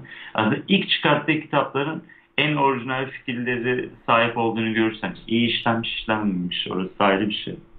Ama yani bir noktadan sonra artık böyle şey adam yeni, yeni fikir bulamadığı için ya da yeni fikir bulabilecek zamanı artık olmadığı için mekanize bir şekilde biraz refleks şeklinde iş üretmeye başlıyor. Yani sonucu ne olursa olsun en azından içeriği olsun. Peki şeye nasıl bakıyorsun? Ben mesela Image'ın aylık bir dergisi var Image Plus diye. Orada yazarlarla çizerlerle röportaj yapmışlar.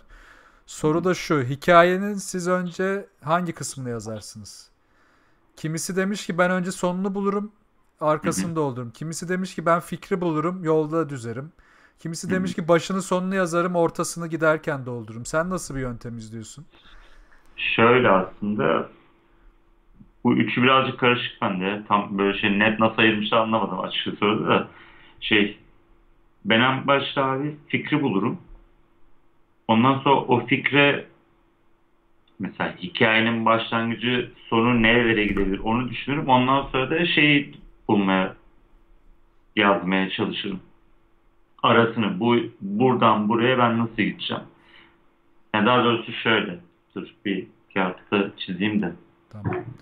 Bu arada Şehzade Yangını'nda çalıştığın storyboard var mesela. Onu koymuşsun. Güzel olmuş. Hmm, evet, dur göstereyim. Orada ilk storyboard çizerken biraz manyaklık yapıyordum abi. E sen bayağı kare Full kare. Bütün, bütün kitap vardı. Bak şu. Wow, bu storyboard. İkinci, Oha. Evet bu ikinci kitabındır şöyle kameraya göre. İkinci kitabın tamamı burada vardır. Birebir hem de yani. Oha. E sen bayağı zaten storyboard'da detaylandırmışsın işte. Aynen abi. Ama ondan sonra bak. dördüncü kitaptan size spoiler ver, vermeye çalışsam bile hiçbir şey anlamazsın. Ha. Dördüncü kitabın storyboard'u da bu abi. İşte burada artık kaşarlanmaya başlamışsın. Aynen. Aynen. Şimdi boş ver şimdi. Neyse ben, ben şöyle yapıyorum abi. Şimdi şöyle yapıyorum. Şöyle başını buluyorum. Sonu nereye gidebileceğini buluyorum. Tamam mı? Şöyle şey yapıyorum işte. Çizgisini. Zaman çizgisi. Sonra bu aralar için yine ana sahnelerimi planlamaya başlıyorum. Sonra bu aralarını doldurmaya başlıyorum. Hmm. Yani birazcık şey yani böyle genelden yavaş yavaş detaya indiğim bir şey oluyor. Bir çalışma e, metodum var. Çizgiden Önceden musun şeydi. peki hiç? Hı? Çizgiden çıktığın oluyor mu hiç? O sona giderken Yok yok hiç, hiç, hiç çizgi her şey mi diyorsun bu zaman çizgisi mi? Aynen aynen. Yani şöyle oluyor mesela hani bu şekilde oluşturuyorum ondan sonra duruyorum diyorum ki hani tamam böyle bir fikrim var amenna ama bundan daha iyi bir fikir bulabilir miyim diye o ana şeyler üzerine düşünüyorum abi. Anladım. Gayet aslında doğru bir sistem ya. Yani çünkü bana şey tuhaf geliyor. Sonunu düşünüp ona göre bir şey yazmak işte çok fazla sona odaklı olup hikayenin genel anlatımını da tamamen ona göre düşünüp biraz zayıflatıyor gibi geliyor bana. Ya şöyle aslında son mesela sonundan kastı mesela hani orada şey önemli mesela sonundan kastı ne mesela son sahnesine mi yazıyor yoksa Yok sonundan kastı şu son- sonundaki twist'i buluyor atıyorum. Ben öyle anladım en azından. Ha, ya bende de mesela var. Yani twist'i var ama mesela yani şimdi kafamda ben şu şimdi başka bir hikaye üzerinde çalışıyorum bir yandan böyle bilim kurgu bir Oo, hikaye güzel. üzerinde. Bak bunu bunu ilk kez mi duyuyoruz? Bir, du-. Aynen aynen. Aa, İlk güzel. kez. Bilim kurgu bir hikaye üzerinde kafa patlatıyorum abi. Şimdi onda ben mesela ana bulduğum fikirlerden bir tane yani şey, ana karakterin hikayesinde mesela düşünürken ben twistle birlikte düşündüm. Çünkü aslında o benim karakterimin karakterini belirleyen bir şey. Yani bunlar çok böyle birbirinden bağımsız şeyler diye onu demek istiyorum. Yani böyle. Hani biraz hani bazen şey de oluyor. mesela, Hani bir sahne de geliyor aklına. Aa, şöyle bir sahne böyle sallıyorum işte bir bir şehir var. Kocaman bir mor bir adam o şehrin içinde yürüyor. Aslında ne kadar güzel bir sahne. Acaba bundan hikaye çıkartabilir miyim? O mor adam nereden geldi oraya? Falan kafasında. Anladım. Çıkış noktaları yakalamak e, bayağı değerli o Aynen. zaman. Böyle de bazen şey yapabiliyorsun. Hani diğer türlü de olabilir. Ben mesela bu bilim kurgu hikaye dedim aslında. Benim babamın çocukluğunda yaşadığı durumdan yola çıkarak ben bir şeylere ulaşıp hikayeyi düşünmeye, yazmaya başladım yani. Hani neyden ve senden nereden aklına geleceği çok belli olmuyor. Ama ben mesela hani metodum ama şey net şu an hani ana en başta kafamda ana aksları olarak düşündüğüm yerleri var hikayenin. Onları buluyorum. Sonra ufak ufak aralarını doldurmaya başladım. Önceden şeydi abi. Oturuyordum böyle. Filmlerdeki gibi. Yazar bir anda oturuyor böyle. yazmaya başlar böyle. Aa, böyle şey. Üç ay sonra kalkar ve kitap bitmiştir falan ya. Öyle bir dünya yok abi. Öyle bir yazım şekli yok. Ya Onu, da ona, Shining'deki gibi gidip karını kesiyorsun yani. aynen o da yani. o, o da kötü.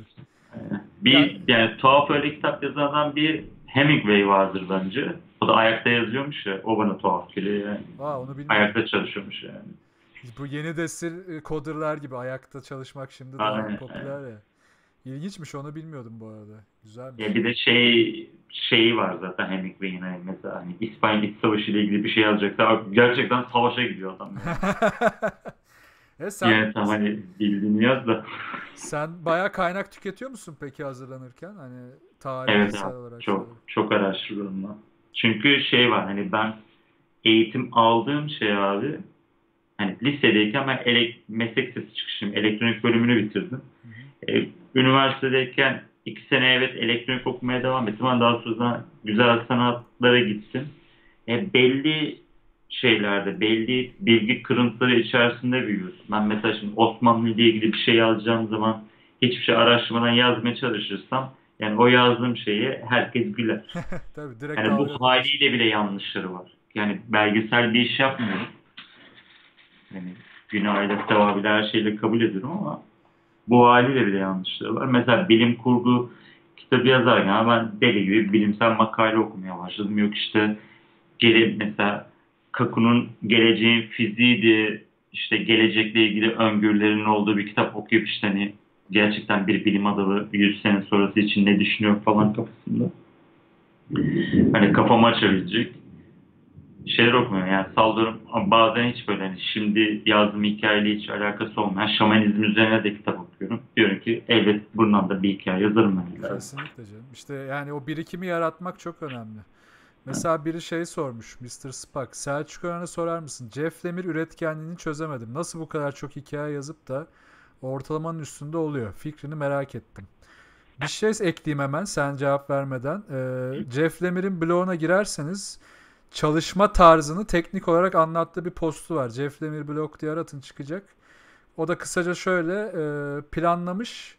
Her şeyi çok net planlamış. Bayağı önünde böyle herifin timeline var. Her gün her gün oturup bir sayfa mutlaka yazıyor ve her haftanın sonunda da e, belirli bir şeyi tamamlamış oluyor. Yani belirli bir fasikülü tamamlamış oluyor. Yani üst üste ekleyerek bu bilgiyi vereyim. E, yaratıcılık kısmını sana bırakıyorum. Yaratıcı kısmında adam demek ki deli gibi araştırıyor, deli gibi okuyor, deli gibi müze geziyordur. Deli gibi insanlarla konuşuyordur. Ama şey değil yani tutup da Starbucks'taki adamla konuşuyor diye gerçekten çıkıyordur, gidiyordur. Enteresan tiplerle konuşuyordur yani. O bir şekilde kendisini besliyordur. O çünkü hani beslenmeden sadece işte içime kapandım ve hikaye buldum şeyinde zannetmiyorum yani. Yani belki olabilir tabii bilemez. Hani yetenek var yetenek var. Bazısı öyle şey olabiliyor yani. Çılgın olabilir. Dediğin doğru kendi açıklaması yine şey ben aslında asosyal bir adamım diyor. Şöyle asosyal hani akşamları eğlenmeye falan çıkmıyormuş. Ya Evet, o çalışıyordu işte. Aynen. Et yani kendisine bir şeyler katabilecek, dediğin gibi üretkenlik katabilecek şeylere gidip yine arkadaşlarıyla, dostlarıyla buluşup muhabbet ediyor ama gidip de işte hadi barda içelim bu akşam, akşam çıkalım maç izleyelim gibi Evet. şeyler yapmıyormuş yani. Alemlere atalım demiyordur işte yani.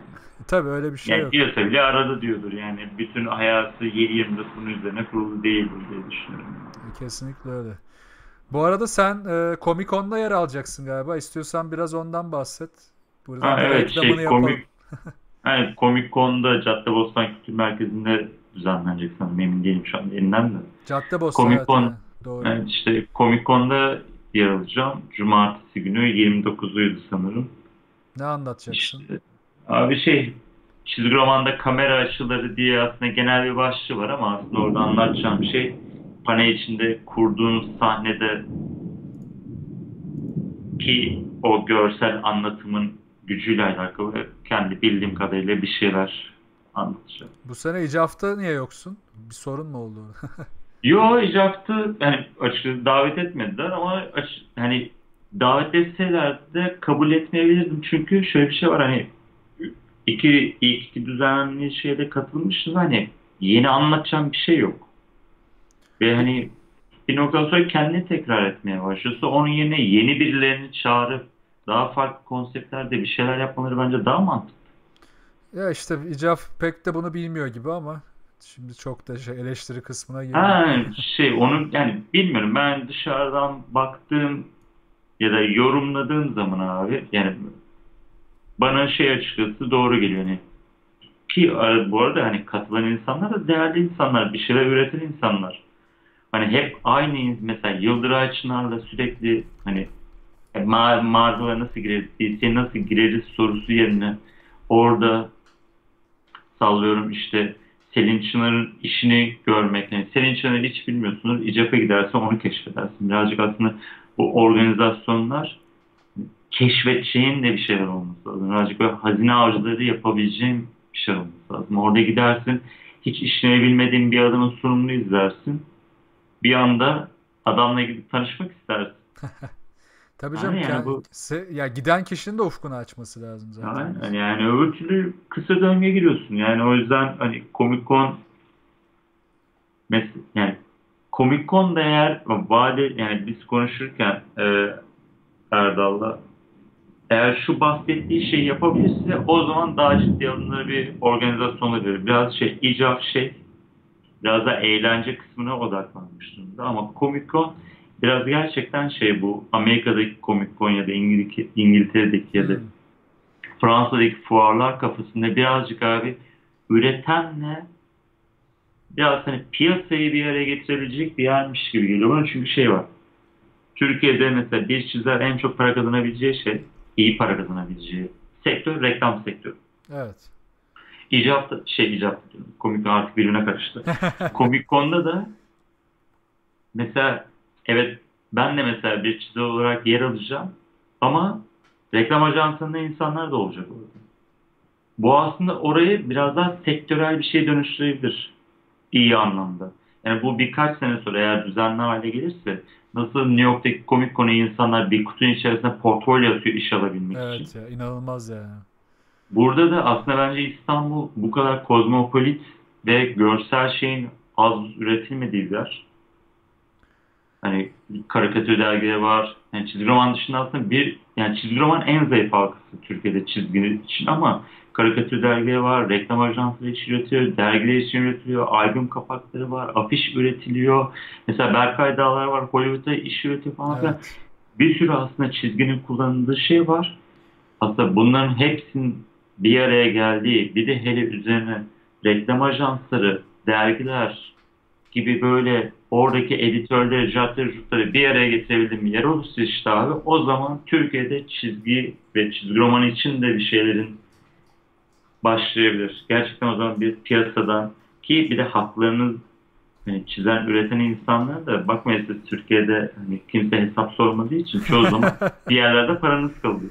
Tabii canım çok kalır Yani hem de. bir- aynen bir hani bir de küçük yerler değil sadece Yani büyük büyük ajanslar da takar bazen sana. Hani Al- böyle bir şey sektör oluşabilirse bu işten hani bir şeyde hakkını da arayabileceğin insanların bir araya geldiği bir şey de olabilir. Ya bu vizyon çok mantıklı aslında. Cidden bunu başarabilirlerse aslında bunun amacı içinde çizimin olduğu pastayı büyütmek her açıdan. Bence çok mantıklı. Umarım yapı- yapılabilir. Hem İnşallah. böylece para kazanma açısından da herkes bir noktada kendini tatmin eder ki dediğin şey çok doğru. E, Penguen'den işte Selçuklar işte e, diğerleri şimdi şey, isim aklıma gelmiyor ama ben Yiğit yıllarca Özgür, Ha, ajanslar. Yiğit Özgürler falan aynen. Hı hı. Ya hepsi zaten bir noktada reklam sektörüne girdi ya da yurt dışına gitti ya da işte farklı işler yapıp çok büyük paralar kazandılar. Ha. İşte biraz da aslında bu sektöre girenlerin e, bu alanlarda da yer bulması için kendine bu tip mecraları, Comic-Con gibi mecraları kullanabileceklerse gerçekten iyi bir vizyon olur. Umarım olur. Yani bir de şey de var mesela hani, e, Erdal'ın çevresi sayesinde Japon Kültür Merkezi olarak düzenliyorlar Evet. organizasyonu ve şey durumu da var aslında. Yurt dışından da çok fazla insan gelecek. Mesela Alex Malev Türkiye'ye gelmeyecek. Evet gelmiyormuş. Ben O çok gelmeyecek. geliyor zannedip hepimiz bir heyecanlandık. Yok şey iş yoğunluğundan dolayı gelmeyecekmiş. Hani gelmek istemiş ama gelemiyor. Ama şöyle bir şey var abi. Alex Malev o çizgi roman yarışmasının jürisi. Evet. Günün Çok sonu büyük. değerli bir şey yani. Evet evet. Yani birazcık şey böyle eli ayağı düzgün bir şey çıkarsa ortaya, insanlar ilgi gösterirse, burada birazcık üretim daha nitelikli hale gelirse abi şöyle olacak. Hani biz şey konuşmuştuk hani kasabı ya da şehzadelerini İngilizce çevirmeyi ya da yurt dışında basmayı düşünmüyor musunuz diye. Evet. Nasıl o İtalyan ablayla ben hasbelkader arka, şey, arka odada karşılaştım. Aslında o abla ve o abla gibi bu tarz işlerin peşinde koşanlar abi bu organizasyona gelecek ve senin bu de insanlarla bir araya gelebileceğin bir ortam olacak. Ben mesela şey düşünüyordum. Hani New York Comic Con'a mı gitsem acaba ya da San Diego Comic Con'a gitsem de hani birazcık çevremi hani orada bir çevremi edinmeye çalışsam falan diye düşünüyordum. Ama sen İstanbul'da böyle bir şey yaparsan aslında orada elde etmek istediğin bir sürü de masraf yapacağın şeyi burada yapabilir hale gelir. Kesinlikle öyle. Yani ya sonuçta bu yatırım e, burada yapılması da çok büyük olay. Ya zaten ben hep şunu düşünürüm. Buraya aslında şimdi biraz işe e, bencil de bakan bir kitle de var. E, bu üreten tarafta da var. Yabancılar gelsin, imza alalım, para verelim. Okey bu işin biraz daha popüler kısmı. Ama yabancılar gelsin, hepimiz beslenelim. Sen de beslen kısmı ikinci plana atılabiliyor. Biraz kıskançlık da olabiliyor. Yani söz meclisten dışarı. Ya abi biz varız işte Türklere ne önem verildi ki sen hemen yabancıyı çağırıyorsun. Ya zaten olay o değil.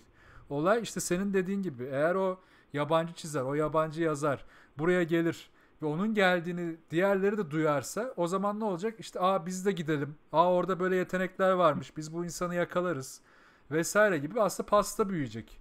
Tabii canım. Yani o şey organizasyon ciddi alınmasını sağlayacak aslında. Kesinlikle. Keşke Alex Malev gelebilseydi. Bu arada Alex Malev kim diye sorarsanız geçen gün konuştuğumuz Daredevil serisinin çizeri e, e şeyin e, Bendis'in yazdığı çiz, serinin çizeri kendisi. Ne kadar iyi çizgileri olduğunu ben baya böyle al, yallandıra ballandıra anlatmıştım.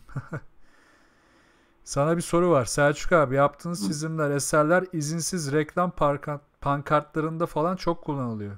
Bu tür şeylere telif atınca cevap alabiliyor musunuz? Var mı böyle bir şey? Ben, benim çok böyle bir şey başıma gelmedi. Hiç geldi. Etem'in çok başına gelir. Ha evet Etem Onur'un çok geliyor ha. görüyorum. Twitter'da da paylaşıyor. O çünkü çok popüler şeyler istesen çizdiği için. Yok Evliya Çelebi çiziyor, yok Şener Şen çiziyor falan filan derken. Aynen. Hani benim ben çizgi roman ürettiğim için ben de zaten hani direkt kafadan bana gelene kadar yayın ev zaten.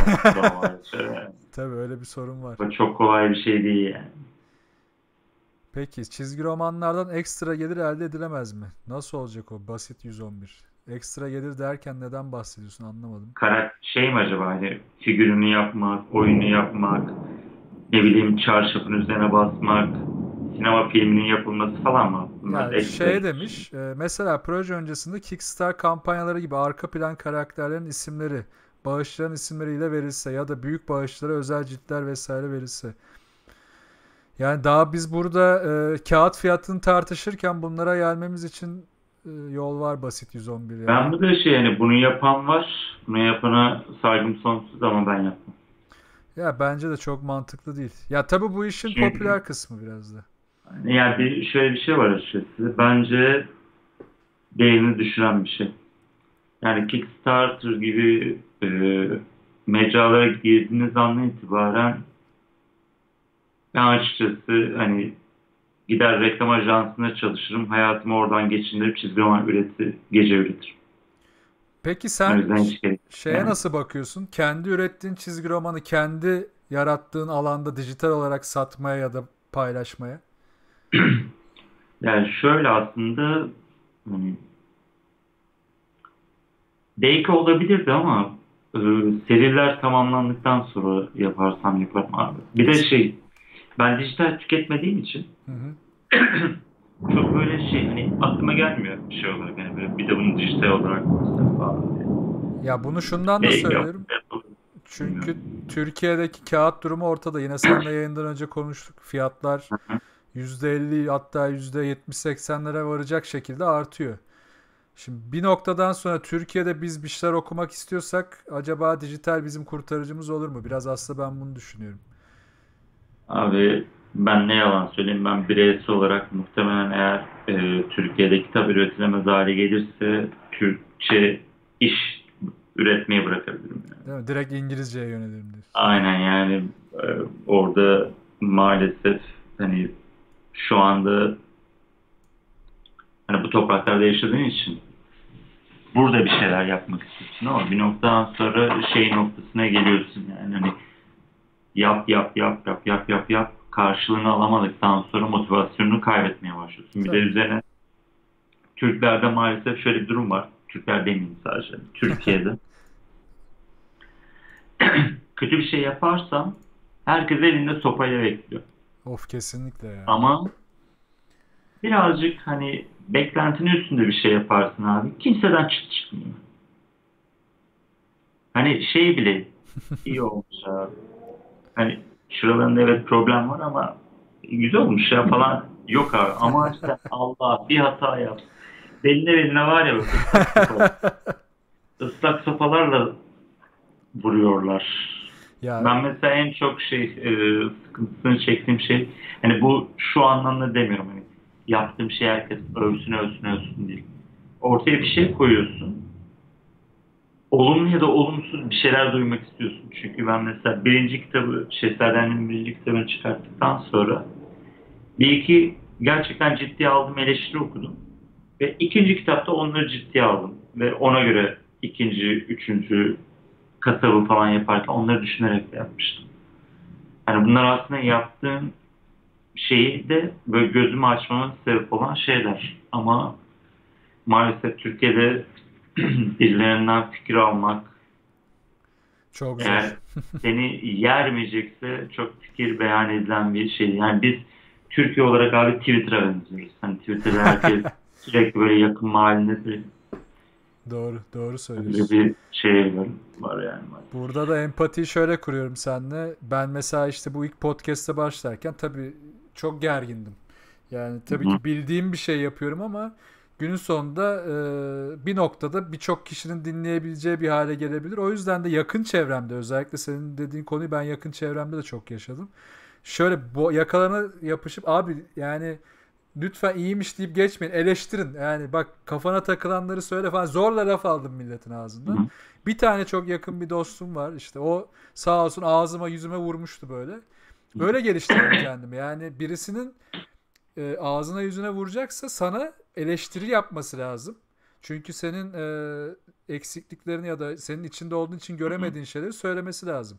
Ama genelde senin dediğin gibi oluyor. Hatanı hatanı e, büyük bir platformda paylaşıp ha bu adam da işte çok kötü Allah işte böyle kötü şöyle kötü deyip hiçbir Hakaret olarak işte hakareti Tabii. eleştiri olarak kullanıyorlar. Yani o eleştiri sen yani hakaret ediyorsun yani bu şey değil. Mesela bak Sungur Sungur'la yaptığınız şu e, şey vardı. Logan filmi için alternatif sonlar Evet. videosu vardı. Evet. Hani Sungur yazdı ben sadece hani çizim olarak destek attım ama Ben de onları Mesela hepsini Sungur'u- izleyip baktım tek tek. işte yani Sungur'u bence küstüren projelerden bir tanesi oldu. Hani iyi bir şey ürettiğin zaman doğru karşılığını alamayıp bir de öbür tarafta sallıyorum yürürken şekli o ayaküstü muhabbetler bence güzel. Yani orada bahsettiği şeyler de iyi şeyler. Ama ayaküstü muhabbeti kendi de bahsettiği için bu arada söylüyorum bir yayında. Ee, ayaküstü konuştuğu şeyin orada saatlerce, ikimizin de saatlerce harcadığımız şeyden daha fazla izlenmiş olması bence Sungur'un bakış açısını değiştirdi mi yazıyor. Kesinlikle öyle. Aynen. Yani insanlar maalesef hani e, önlerine koyulan şeyin bunu şey şeklinde anlamasın. Selam limon. Çok tatlı. Ee, eyvallah. İşte yapılan her şeyi beğenin, beğenilsin, her şey işte Türk işi, aman sahip çıkılsın, sahip çıkalım dediği kafasından bahsetmiyorum ama bir şeyleri de artık yani ciddiye almak lazım çünkü üreten kişileri küstürmeye başlıyor bu ülke. Ya çok doğru söylüyorsun. Çelişki de şu.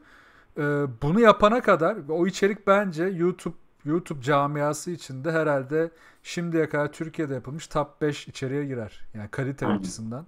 Çünkü bir bir e, fikir var işin içinde devamlı söylenilen şey var. Şişko sen biliyorsan sen yap. İşte Selçuk sen çok biliyorsan sen yap. Tancan anlatıyorsun da sen hani doğru düzgün yorum yap o zaman falan diyen tayfa oraya çıkıp bu yapıldığında da yine beğenmediler. Ya tamam işte bir şey yapılmış artık sen istediğini aldığında da mutlu olamıyorsan senin başka bir tatmin sorunun var demektir. Ya da sen bundan besleniyorsun demektir. E o zaman ben de sana al o zaman ben sana bir bok içeriği e, layık görüyorum. Al bu bok senin. Al sen bunu izle diyorsun. Sen de rahatlıyorsun. O da rahatlıyor. Herkes mutlu oluyor. Ya bu ama uzun vadede seni yine mutsuz ediyor. E işte şeye dönüyor işte abi Watchmen'deki komedinin hani dünyayı algılama ve onun bir mizansenine dönüşmesi durumu var ya bence bu arada yani Watchmen'deki en iyi karakterlerden bir tanesi komedi. Kesinlikle. Yani bu yaklaşımıyla. Yani bir anda şey hani buna dönüşmeye başlıyorsun abi o zaman siz bunu mu istiyorsunuz? O zaman bunu alırsınız deyip bir anda agresif bir moda geçmeye başlıyorsun. E tabii tepki verme ihtiyacı hissediyorsun. Bu sefer de aslında geniş olabilecek kitleni ki bu bence biraz kitlen geniş gözükse de daha geniş olabilecek kitlenin bir kısmını kaybediyorsun. Belki Yani. bu daha azınlıkta bir sayı oluyor ama işte e, çünkü şöyle bir şey var. Hani yıllardır Steve Jobs ve Apple çok eleştirilir. Ben de çok eleştiririm birçok konuda. Sonuçta o da bir günün sonunda Evil Corp. Ama şöyle bir şey var. Steve Jobs'ın bakış açısının ben çok doğru olduğunu düşünüyorum. Özellikle reklamcılık içinde. Ben size e, verdiğim şeyi satabilmeliyim. Siz de bunu kabul etmelisiniz bu haliyle. Çünkü o zaman ne oluyor? İşte dün restoran konusunda da konuştuğumuz gibi. İyi bir şey yaptığına sen inanıyorsan ve buna çeşitli çevrelerden doğru yorumlar alıp artık son haline getirdiğine inanıyorsan bu bir ürün olabilir, bir yemek olabilir, bir yüz yıllık bir eser olabilir, X olabilir, her şey olabilir. Sen bunun üzerine gitmelisin. Birisi beğenmedi diye değiştirirsen o zaman senin de güvenilirliğin gidiyor, senin de inanırlığın gidiyor, senin de yaratıcılığın düşmeye başlıyor. Sorun biraz da bu bence. Evet yağmur geliyor bu arada. Fırtına, şimşek. Sen ne taraftaydın abi? Kadıköy tarafı. Ben şey koz yatağındayım. Valla Üsküdar'da çakmaya başladı. Yani gelecek buraya da gelecek herhalde. Zaten artık şey yaparız ufaktan kapatırız ya baştan. Ben de yağmur inmeden Simba'yı sıçma indir. Aynen. Koş koş. Abi çok sağ ol bu arada ağzına sağlık. Abi ben Bayağı- ben teşekkür ederim konuk ettim. Bık Evet. bık bık milletin de kafasını şişirdik. Abi ya ben e, Twitch'i açarken ilk düşüncem aslında buydu. Big big big kafa şişirelim ama kaliteli kafa şişirelimdi. Bence biraz biraz yapıyoruz bunu. Umarım yine yine gelirsin. Hatta belki bir gün Ethem de gelir. Hatta bir gün Sungur'u da alırız. Daha böyle hardcore tartışmalı şeyler İyice yaparız. şey tokat. Tokat manyağı.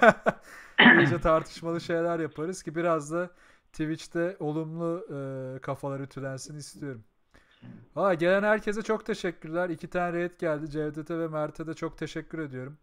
Vallahi güzel oldu. E, umarım siz de mutlu olmuşsunuzdur. Ya sorularınızın birçoğuna yanıt vermeye çalıştık. Atladığımız olduysa da kusura bakmayın.